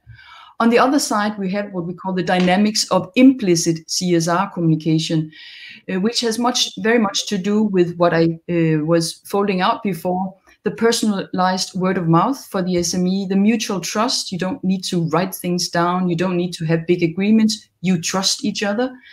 Uh, and also the, the sort of this, the family standing in the local community and very much what we could call a values-based leadership style. And in between these two dynamics, you could say, of explicit CSR communication and implicit CSR communication, we identified a number of what we here refer to dilemmas or governmentality dilemmas where the SME finds uh, him, him or herself. This is about authenticity. So what we experienced in our empirical study was that owner managers um, often experience being sort of exposed to both the explicit and implicit demands that they are sort of selling out of their authenticity if they have to put their values and their CSR action into formalized uh, labels and into formalized schemes that they have not themselves um, uh, sort of produced. They talk about a, a, values control that somebody else is telling them what to report on and not themselves deciding what are the most important values for their business. So they they sort of talked about a kind of what we here label identity disruption, that they were challenged on their integrity by having to almost market their values uh, and not just living them. So we were sort of interested in the, the, the, CSR talk versus what we here label the CSR silence, uh, and that indeed there are some positive aspects of both and also some negative aspects of both. And that goes both for internal and external um, sort of um, implications. So we uh, developed this um, this uh, conceptual framework, and we are still working on putting in some empirical evidence to to test if this is um, uh, also makes sense for small and medium-sized owner managers. So what we see here, and I will start with uh, the negative implications for the CSR talk and CSR silence put out here in gray. So if we look upon the CSR talk uh, for external audiences, where a company is talking about uh, doing something uh, good for the grand challenges of, of society, uh, that, that may be seen for the SME manager SME owner manager is often afraid that this may be seen as uh, over-promising or greenwash, you could say, that there may be some kind of hypocrisy in the statement if you do not live up to uh, what you say completely 100% uh, by, by the words. It may also be seen uh, from um, a, an internal perspective. Sorry, I wrote external here on the uh, last, on the corner uh, in the uh, left hand. It should have been internal, of course. It may also by employees be seen as you are over promising. So in the small and medium sized enterprise, if the owner manager talks about the values uh, that the organization is working with, it may be seen as over promising. Uh, it may even stimulate, as, as some talked to us about, it may even stimulate a kind of an organizational wrongdoing if you are prom promising to do a little more than you're actually doing today. Uh, employees may be um, feeling a pressure to actually overperform in a way that is not. We've, for example, seen that in the in the case of Volkswagen, where it uh, there was a discussion about that some of the engineers in Volkswagen were actually inclined to perhaps even uh, do wrong in the organization in order to live up to managers' uh, promises. So that over-promising uh, risk is, is, a very big worry and concern for SME uh, companies and SME is small medium-sized enterprises. So on the other hand, the uh, the, the silence of um, of not saying anything about CS, not not wanting to communicate about uh, your CSR uh, activities is something that has been touched a, a bit upon in, in, in, prior research. For example, the ethical implications uh, or negative sense of CSR silence is a kind of self-censorship. That if you don't um, want to speak about your CSR, you you don't want to discuss it internally because you cannot discuss it because uh, you know what is right. So there's no need to discuss with your organization or with your managers, could we do this differently? because the CSR action has become almost, you could say, a holy grail. We know this is the right way. We don't need to discuss this. Discuss this. Of course, there's a strong, you say, sort of um, value in in that belief, but that may also impose upon the organization a kind of an ethical closure where you are not uh, willing to discuss and not willing to advance and critique uh, what you are already doing. It may turn into a self censorship. Then there may also be an external implication if you're not saying anything. You may actually uh, raise um, quests for are you hiding something? Why don't you talk about why don't you talk about your action and why don't you become more transparent uh, about what you're actually doing? So that is part of the, the push on small medium-sized enterprises. If they are not talking enough they may risk run suspicion or raise suspicion about uh, doing too little. On the positive side, on the on the on the talk uh, of, of CSR communication, we see that for external purposes, th this may be an opportunity for for businesses to actually show a very desirable and attractive image to the external world, whether this is customers, whether this is uh, public authorities, or it may even be uh, you, uh, your your local community that has been very much, I would say, that is probably where we see most of the research in, in that box right now uh, today.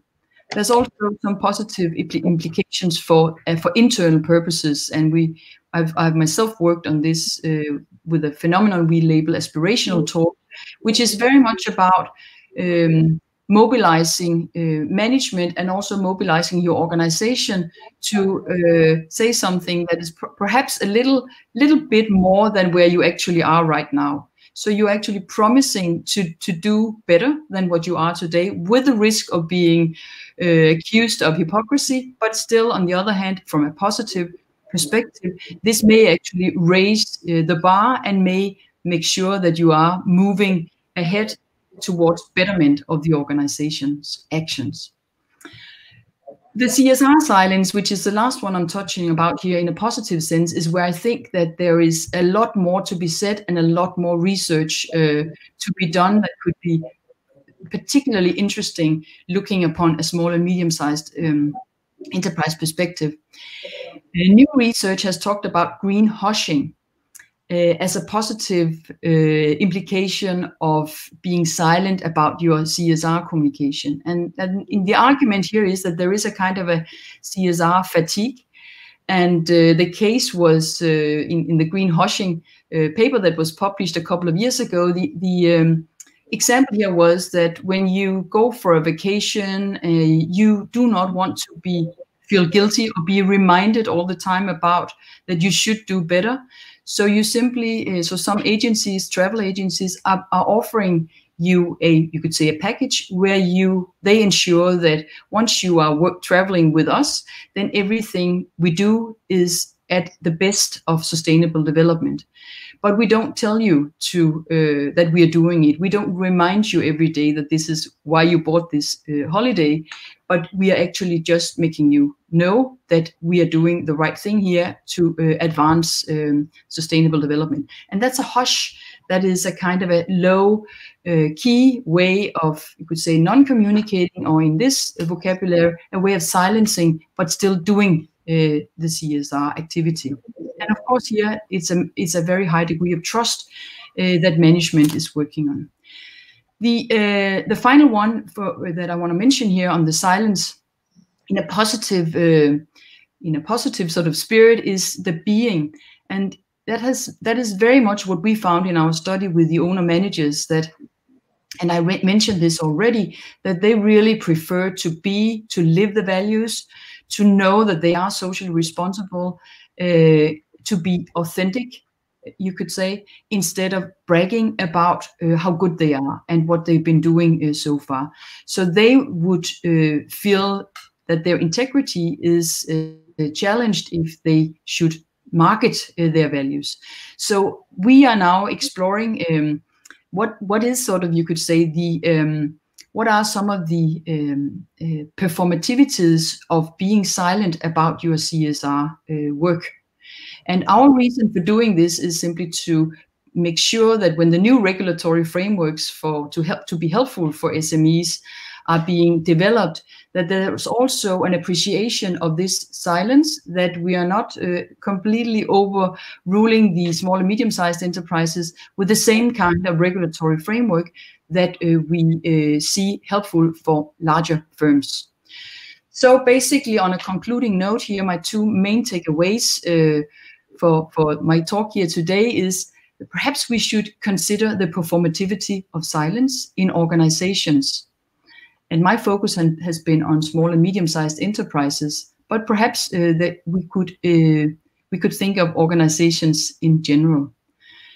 My other takeaway here today is sort of how we balance the talking and the silencing, which is indeed an underexplored management challenge uh, that uh, I see a lot of new research uh, that could be very helpful uh, to understand this uh, dichotomy or these dilemmas that organizations are uh, experiencing these days. So um, yes, doesn't mean that CSR uh, silence is the way forward only. It's very important for me, of course, to say that I'm interested in, and I think we should be more interested in the balancing, because of course, talk is necessary to increase transparency for business, no mm -hmm. doubt about that.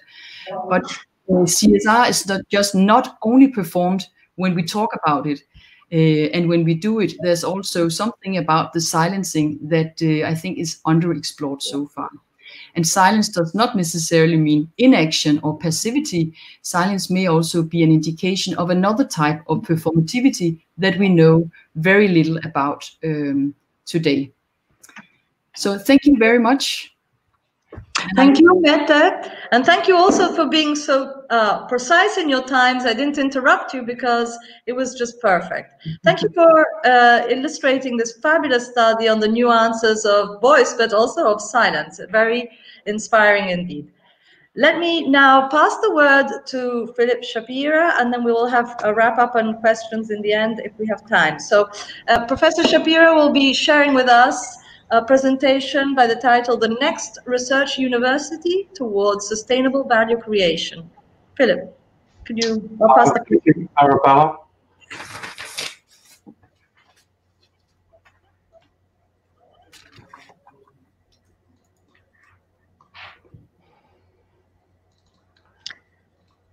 If you need any help, let me know. Um, can you see? Uh, uh, no, not yet. Yes, we are right now. Perfect. If you uh, press on the center of the no, no, press in the center of the screen. Yeah, perfect. Thank you very much. We can see it. Thank you. I um, I learned from Mette. It's the, maybe the first time both of us have used this uh, particular system. Um, so thank you very much uh, for inviting me. Uh, actually, in, in 2019, I had planned to be in Pisa uh, around this time, visiting the Scuola Normale um, and working with you and uh, speaking at this conference. And uh, I even purchased my tickets. Uh, 2020, of course, it all got cancelled. Um, please, like we can join electronically. And in 2021, I'm hoping that Ryanair might actually give me my money back. I mean, that's a kind of a bit. so it will be a two-year uh, long process. So I'm going to talk about the next research university uh, within this theme of grand challenges, companies and universities working together for a better society. I think this um, this is a really important dialogue um, in my talk, I'm going to focus you know, on the higher end, on the grand challenges, and perhaps if we have time, we can get into the details.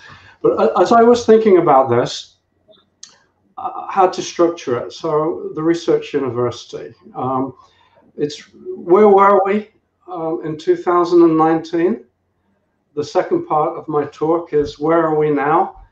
In uh, September, six months um, into this pandemic.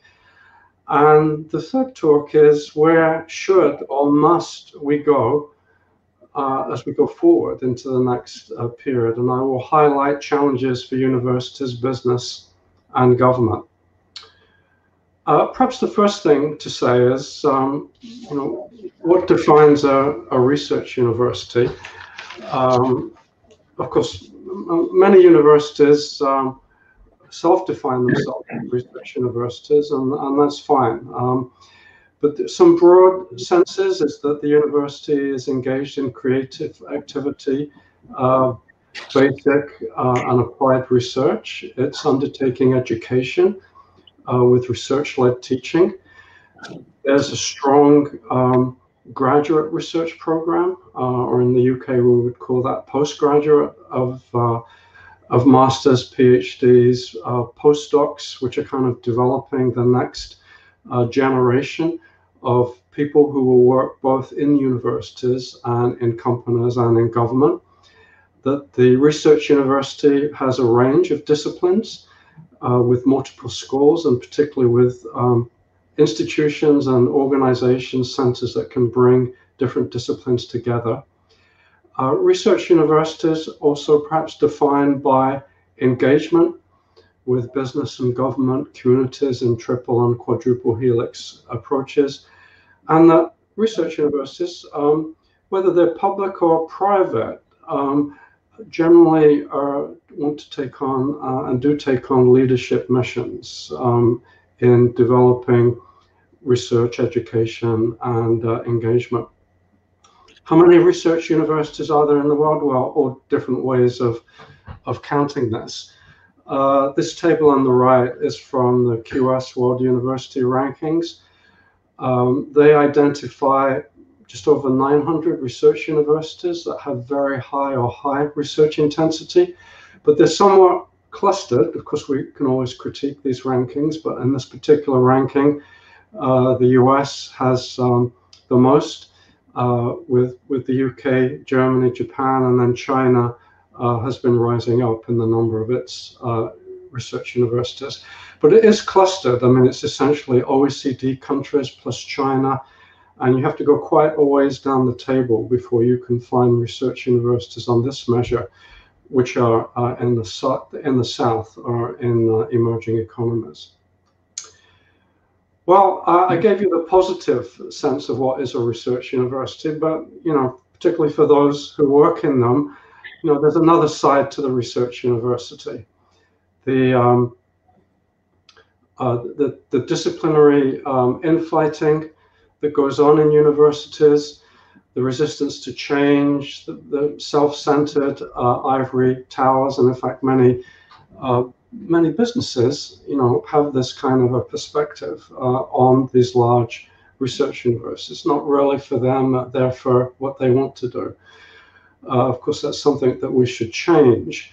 Uh, in uh, Michael Crow and uh, uh, Bill Dabars' book on designing the new American university, which is about the changes that they're attempting to introduce at Arizona State University, they talked about two key challenges of research universities. One was filiopietism. Um, when I first read that word, I had to go look it up, but it means the excessive veneration of tradition. You know, that we don't want to change because we've always done it this way. We have a school of this and a school of that, and that's how we've always done it. Or we have a tenure system, and that's how we've always done it. Um, so uh, this this uh, resistance to change is a hallmark, uh, often of research universities. Uh, but Crow and Dabars also highlight this this issue of uh, isomorphism, where research universities, um, perhaps particularly those that are not in the top ten, uh, want to be in the top ten, and that they take these gold standard models of Harvard, Oxford, Stanford all of which have massive endowments, uh, as that's the only way a research university should be done.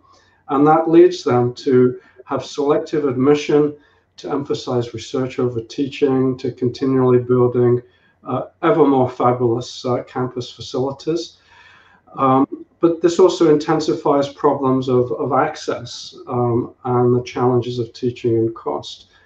Another aspect, particularly of the modern research university, um, is the over managerial emphasis, the growth of corporate management uh, in research universities, and the pressure to be driven by rankings and, and performance measurements. So, um, two aspects to to the research university. Fact, there's ideal goals and then kind of these challenges of actually making change and operation uh, in the university.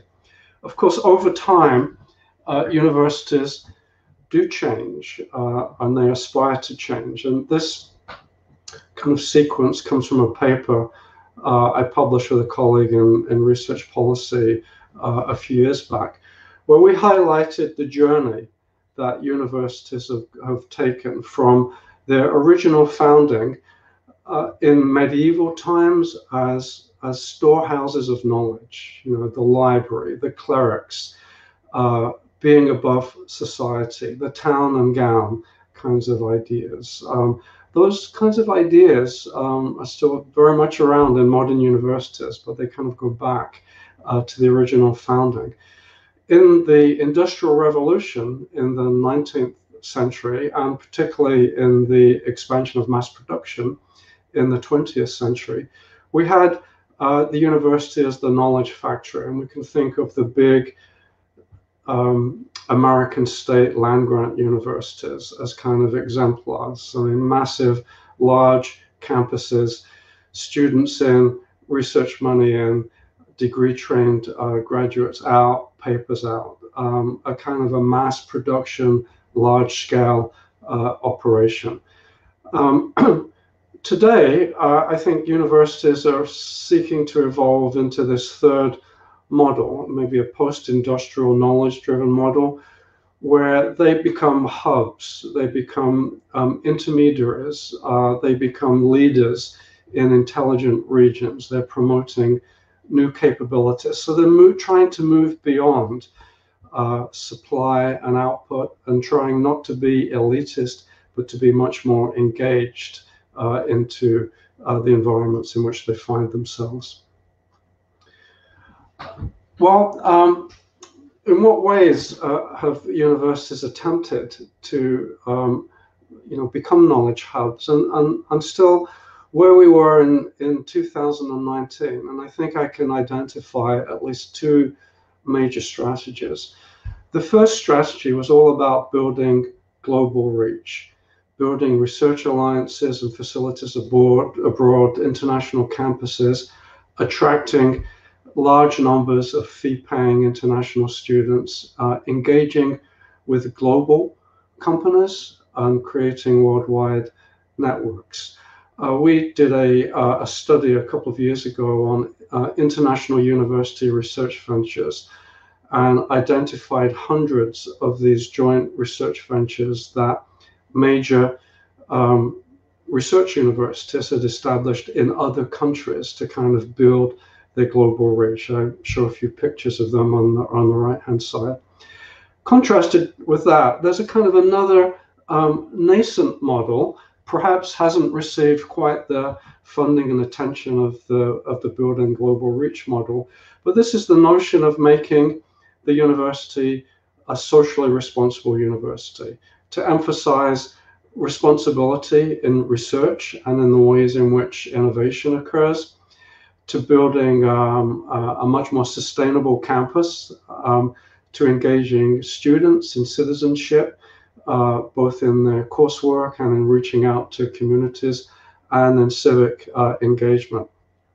Uh, I work at the University of Manchester, uh, which actually pursues both of these strategies. It has attempted to, uh, to, to, to build global reach, uh, but it's also put attention into social responsibility, and has won awards um, for the programs and activities that it's undertaken. That's where we were in 2019. Uh, here's where we uh, where we are today. So we've had this pandemic. Of course, the impacts vary significantly um, between different countries. So this is a a kind of a broad sweep, uh, particularly on um, perhaps based on my U US and UK experience. Uh, but we see um, campuses closed and research labs closed, and, and they've been that way since March, except, of course, uh, those labs working specifically on COVID 19. Other researchers have been working from home. Uh, this has led to uh, challenges of research productivity, although also some new opportunities. I'll say a few words about those. Uh, the cancelling of travel, although we've discovered uh, Zoom and, and, other conferences. Uh, I think particular challenges for early career researchers in terms of their mentoring. Um, to to um, uh, we, uh, even I have some visiting researchers that have essentially spent their time in their bedrooms, and it's just been a very different environment. And of course, I try and engage with them, um, but for researchers that have to go into labs, it's been a big a big challenge. Uh, international students and international visitors particularly affected. Researchers that have family or caring responsibilities affected. We've had this huge um, uh, work in shifting our teaching online, which we did rapidly, and now we're continuing to do with the new academic year. A lot of financial uncertainty, staff uncertainty. Uh, I don't have any specific numbers on this, but my sense is, is that there's been a drop in business engagement because businesses are, are attempting to survive uh, in COVID 19 rather than to launch uh, new projects with universities and a lot of pressure on the credibility of science and the effectiveness of science advice. Many science advisors uh, to governments are coming out of universities, and I think it's been a very difficult moment. Um, perhaps some of these pictures sum it up. You know, the professor teaching online without any students, and the scientists without a lab. Um, and how can they operate in, in this environment? So it's been extremely challenging. Uh, I should mention that there have been a few uh, silver linings, and perhaps we can learn from some of these. Um, COVID 19, of course, has been this natural experiment where a lot of economic business um, activity has been closed down. Um, and so, for some researchers, particularly uh, working at, in atmospheric science or looking at uh, whales um, in the oceans where there are just far fewer ships, or looking at urban mobility during periods where uh, there really wasn't any traffic. Um, these have been incredible periods to kind of make observations. So there's some silver lining there. Uh, I think that we've seen in the COVID 19 area across all the domains of epidemiology, therapy, drugs, vaccines, massive growth, massive effort. Uh, massive increases in, in outputs. So we've shown that um, researchers can rise uh, to these challenges. Uh, one of the interesting things is the massive growth of open publishing, the boost to, to preprinting, which in medical domains was perhaps not as large as what it has been in some other domains, such as computer science, but it's really grown massively, and we may not um, uh, that that genie in a way is out of the bottle, both with the difficulties but also some of the advantages of using uh, open publishing. Uh, a lot of innovation in diagnostics in machines and apps, and um, the Zoom conference and the workshop. And maybe uh, we knew about this before, but perhaps we didn't quite do it. But is there now a, a more sustainable alternative? To the massive amounts of travel that many academics uh, did previously. But the pan pandemic is not over, and there's still a lot of a lot of uncertainty. So I think we're in a phase now, certainly in the universities that I, I know well, where we're beginning to ramp up in terms of research. So the labs are reopening, uh, mostly at around 50% uh, in shift work by appointment. And in one particular lab I know very well, a large biotech lab, researchers can only go in at designated times, socially distanced, undertake experiments. They cannot use desks, they can't use offices. So there's like no sit down work. Your data, you collect the data, you have to go analyze it uh, back at home. Um, so this is challenging. So there's a slow return to work, there are added costs I think it's still very difficult for international researchers and students to travel in the way that they were previously. And we are um, undertaking online teaching, and I've seen uh, the efforts to teach in class and do hybrid. Many of them have now been rolled back very quickly to fully online teaching in the next uh, semester. Uh, at some point, uh, we may go, perhaps this will be in 2021 in the spring, to what we could call the new pandemic normal, where the labs will be much closer to their full operation. There still might be some slow return to work and shielding.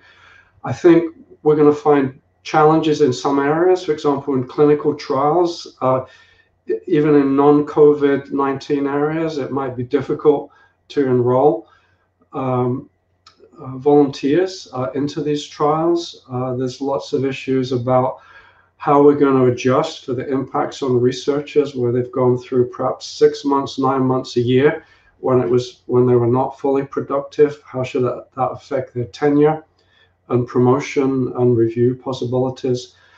Uh, hopefully, we'll be able to resume uh, university business relationships, not only with joint R&D, but a big area, and this has been particularly felt in Manchester, we send lots of students, research students to industrial placements, and that has just been completely closed down uh, this year. So we hope that that may uh, continue. Of course, um, even in the new normal, we may need to ramp back down to a much lower um, capability if the virus respikes again. So there's just a lot of uncertainty here. There's lots of issues, um, kind of bigger issues. I mean, there's these global um, R&D geopolitics kind of issues. They're particularly sharp between the U.S. and China, um, where after a period of um, uh, of exchange alliances, uh, the two now view one another with suspicion. Um, and there's a lot of clamping down, particularly from the US perspective, on um, Chinese researchers in the US. Uh, on the other hand, I'm not sure I'd like to be a Canadian researcher in China at the moment. So China is also flexing its own muscle. So we have that kind of challenge to um, kind of free movement from an R&D perspective. We have these other challenges, the UK, EU, the US, EU, um, how Europe is going to relate to China, the North-South. So this notion of kind of frictionless global university research alliances, I think now kind of comes into question. And the free mobility of researchers and their prospects perhaps also comes into question. Uh, another area is how will the massive costs, um, you know, we've yet to count the full costs of COVID-19, the huge amounts of monies that have been borrowed, how will they affect R&D budgets? Uh, in some countries, it seems like um, perhaps not much change. And in fact, some countries, particularly the US and the UK, are going to expand their budgets, but there might be more focus on applied research.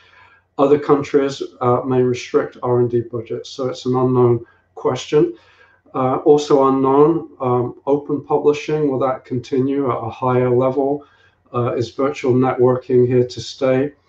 Um, maybe there be, will be positive lesson, lessons about the rapid approaches to drug uh, research, which have been undertaken between universities and companies. Maybe there are some new models that I'm not saying that we're not going to go through full testing, but there may be some new models to kind of accelerate and to collaborate in the way in which we do drug uh, research. From the university business perspective, and perhaps this is targeted particularly to countries like the, the UK and perhaps the US, uh, the reliance on the continued growth of fees from international students uh, wanting to do research degrees at your university. Maybe that's a model uh, that's now into uh, question. Uh, how we can be more resilient as institutions uh, is now an issue. Um, how are we going to continue with online education, which actually is as expensive almost as regular education, but students don't feel they want to pay as much for it. So there's a kind of a challenge. Uh, how we can shift not only to global but also to local challenges. So Philip, can I ask you one one or two minutes to uh, okay. Okay, so uh, just to kind of uh, wrap up, I think for research universities. Um, the pandemic is around, but uh, we but we still have these big challenges, and and they're neatly uh, captured in the 17 Sustainable Development Goals. All of these are around here. Uh, we're have gone through an incredible shock, but we need to rethink how we're going to put these challenges back uh, onto our research agenda. I think for government, we need to think about how uh, to de-emphasize narrow measures and to re-emphasize the broader public missions of research universities. Of course, address immediate financial problems, but perhaps review the way the funding models and the business models of, of research universities and play their role in emphasizing the value of international research collaborations. And for business, besides their own immediate survival, how to rebuild projects and links with universities, um, how to partner with universities on research at societal frontiers, and em embrace responsible research and innovation models. Uh, so uh, for the next research university, uh, I guess the challenge is how can research universities reimagine themselves? So, so, I think we need, we will need, and maybe we're doing this now, is reflect on our performance during this COVID-19 period. Uh, what lessons have we learned about how we do research, how we treat our staff, how we engage with our students and broader communities? But um, more fully, how can we re-engage with the world? How can we reopen and uh, reorientate to these sustainable development challenges? How can we be inclusive, uh, measured by who we include, not ex not by who we exclude? How we can develop our global partnerships, but also our local and civic partnerships, and how we can value research that's not only basic and, and uh, blue sky, but also research that has impact on these sustainable development challenges. And so maybe I kind of come back to this model I showed you earlier that, of this nascent two model of the socially responsible university that hopefully COVID-19 has emphasized the importance of this model and the need to give it more attention in addition to our global reach models and our other ways of trying to engage with universities. So with that, um, thank you for the time and I'll be very uh, willing to engage with you in uh, responding to any questions. Thank you very much, Philip. Uh, that was really inspiring and all the detail about the evolution of universities and what we're living today and also what's coming up in the future. So thank you, uh, both of you. We have a little bit of time for questions. We started late, so we're going to finish a little bit later. We have uh, one question has arrived for Mette, which I would like to uh, share with her. I have one question each. So for Mette, they're asking, could you elaborate on where linguistic linguistic obfuscation would be located in your conceptual framework, where companies are developing, developing sophisticated ways to talk, while at the same time they silence on important issues. So whereabouts do you think that would end, be in your framework? Yes, no, thank you very much for, for this uh, truly important uh, question, because um, of course, some of the issues that are silenced, I mean, in, in, in, need to be sort of spoken about. And we, of course, know that in strategic CSR communication, part of the strategy for many, or for some businesses, I would say, is, of course, hiding certain issues by overemphasizing other deeds that the organization has engaged in. So I would put that, uh, if I understand your your uh, the question correct, uh, I would of course put that in the sort of the, the negative with the potential of actually um, being explored to get into a language that could be then um, more transparent and be talked about in the future. But I think that what is most important, uh, what, what we have seen in our work is sort of the balancing between these negative, positive, between these voicing and silencing of different uh, issues for SMEs. Um, and I think that uh, sort of also one particular thing, and I think that that we've seen that in, in other research as well, that the pusher, if the push to SMEs uh, to uh, over be over linguistic, you could say, in their uh, in their communication on CSR, and to sort of report on issues where they feel uncomfortable, and where they may have to overpromise in order to get a certain customer to actually uh, per, per, pursue or purchase with them as as the as the uh, as the supplier, for example, is that uh, there is a lot of cheating going on. So you can actually see, for example, uh, read some of research of some of our colleagues, and with also with Laura Spence and and others have, have looked into how some of these uh, SMEs are then hiding um, their non-complicitness uh, with what they have actually promised once they are visited by a, a controller in the in the manufacturing unit. Uh, but they have actually written down, they promised they want to do that, but they are not. But they only promise, they only write, put into words, because that is a request uh, by the uh, multinational uh, uh, purchaser.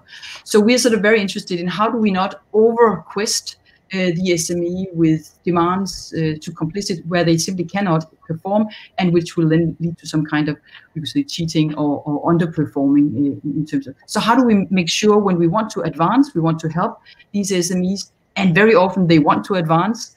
How do we then make sure that regulatory framework does not become a new new sort of frame that is too tight uh, and is not helpful uh, in, in any way? So I'm not sure I sort of uh, responded exactly to to your very good question here, um, but uh, that's part of sort of where where we come from and what we think is hugely important when we are balancing and we want to pay more attention from research, but also from the voices in practice to this, these dilemmas. Thank you. Okay, there's just one one more question, Mette, for you before I pass the word to Philip. We have we still have a couple of minutes. Is the question of authenticity? How can uh, uh, companies maintain the, authent uh, the authenticity in their talk without being lost in time? Yes, just, and just, last, just a couple of minutes, so I have time to ask a question too. Very, very. I would say thank you very much, uh, Chiara Di Bernardi, for this uh, very good question and and a, uh, the difficult question uh, to answer very quickly because I think it is it is it's a very good observation, and uh, and we also know that. Um, the authenticity, for example, in a relationship in, in a couple, uh, a man and a husband uh, being married, is not everything that you know or that you feel about your partner that you want to put into words because that may actually sort of destroy the authenticity in that relationship uh, and it destroys some of the value in that relationship. At least that's what that's what my husband tells me. So you know, I think that there is that it is a very very valid uh, question that you're raising here. How do you make sure that you sort of um, uh, keep on uh, appreciating that authenticity and not selling out of it when you when you put that into words and i think that is that is some of the things that uh, that laura spence and i worked with and we try to put attention to uh, in our article uh, but I like the way you frame the question here. So thank you very much for that. Thank, Thank you, you, Mette, for answering and keeping it, you know, to the point. So let me pass the word, uh, a question to Philip, if possible. And the question is this: Many universities are now hosting green offices and embracing the 2030 SDG agenda, but it remains unclear. And I think you also talked to this when you were concluding your remarks. How exactly can companies, uh, universities, uh, go to this, uh, uh, uh, you know, above just planting trees, when maybe the local communities are resistant to this uh, kind of interaction with universities, maybe for ideological reasons or lack of budget. So how can universities help this process within the local communities, and could there be resistances? Um, thank you. Um, of course, universities have the same challenges I think Mette uh, highlighted with uh, with large companies. So universities do set up um, visions and strategies and offices, uh, but they talk the talk, but are they walking the walk? Are they actually doing it in their practices? And universities, um, you know, have many, many, many moving moving parts. Um, the parts of uh, research and teaching uh, tend to have be given much greater priority than the sustainability missions. Um, so there's that kind of um, internal um, challenge of making uh, these sustainability missions, you know, throughout all of the organization. But um, in um, relationship to local communities, um, I mean, that's a really interesting question, and there's a long history to this. I mean, it turns out that uh, many research universities, particularly true in the UK and um, uh, in the US, if they're not if they are not old medieval universities, but if they are modern universities are often located uh, in the city and they're surrounded by communities. And the history of the university has often been to just demolish those communities and kind of expand their buildings and facilities. So there's a kind of a, a tension, a historic tension. So I think universities have to uh, work with communities, you know, where they are, where they are. They can't kind of preach to communities. They have to kind of engage with communities. They have to listen to communities. They have to see what their problems are, to see if there are projects and activities that they can engage with them, um, and build up trust and confidence over a period of time, um, including around sustainability issues, but also around poverty and employment and health, and, and opening up access, uh, you know, to their courses and their facilities. So there are a variety of ways in which universities uh, can engage with communities, um, uh, you know, but they should first of all listen to communities and work out um, the ways in which they, they can be more, more, most useful to them. It shouldn't be something coming from an office, you know, that's directing. Okay, so Thank you very much indeed for this uh, for this wonderful conversation. We've gone a little bit over time, but it was well worth it, and it, it was a great pleasure to have you both with us. Um, let me invite the people who are following us uh, to uh, take a lunch break at the moment and to reconnect again at 2 when we have a meeting with a plenary session with businesses to talk about the best practices. And again, let me thank both Mette and Philip for the most inspiring conversations or for having managed to link both presentations uh, so, so fabulously. So thanks again for your insights and for being with us today. Thank you. Thank you. Thank Bye-bye. you. Bye-bye. Thank you. Bye bye.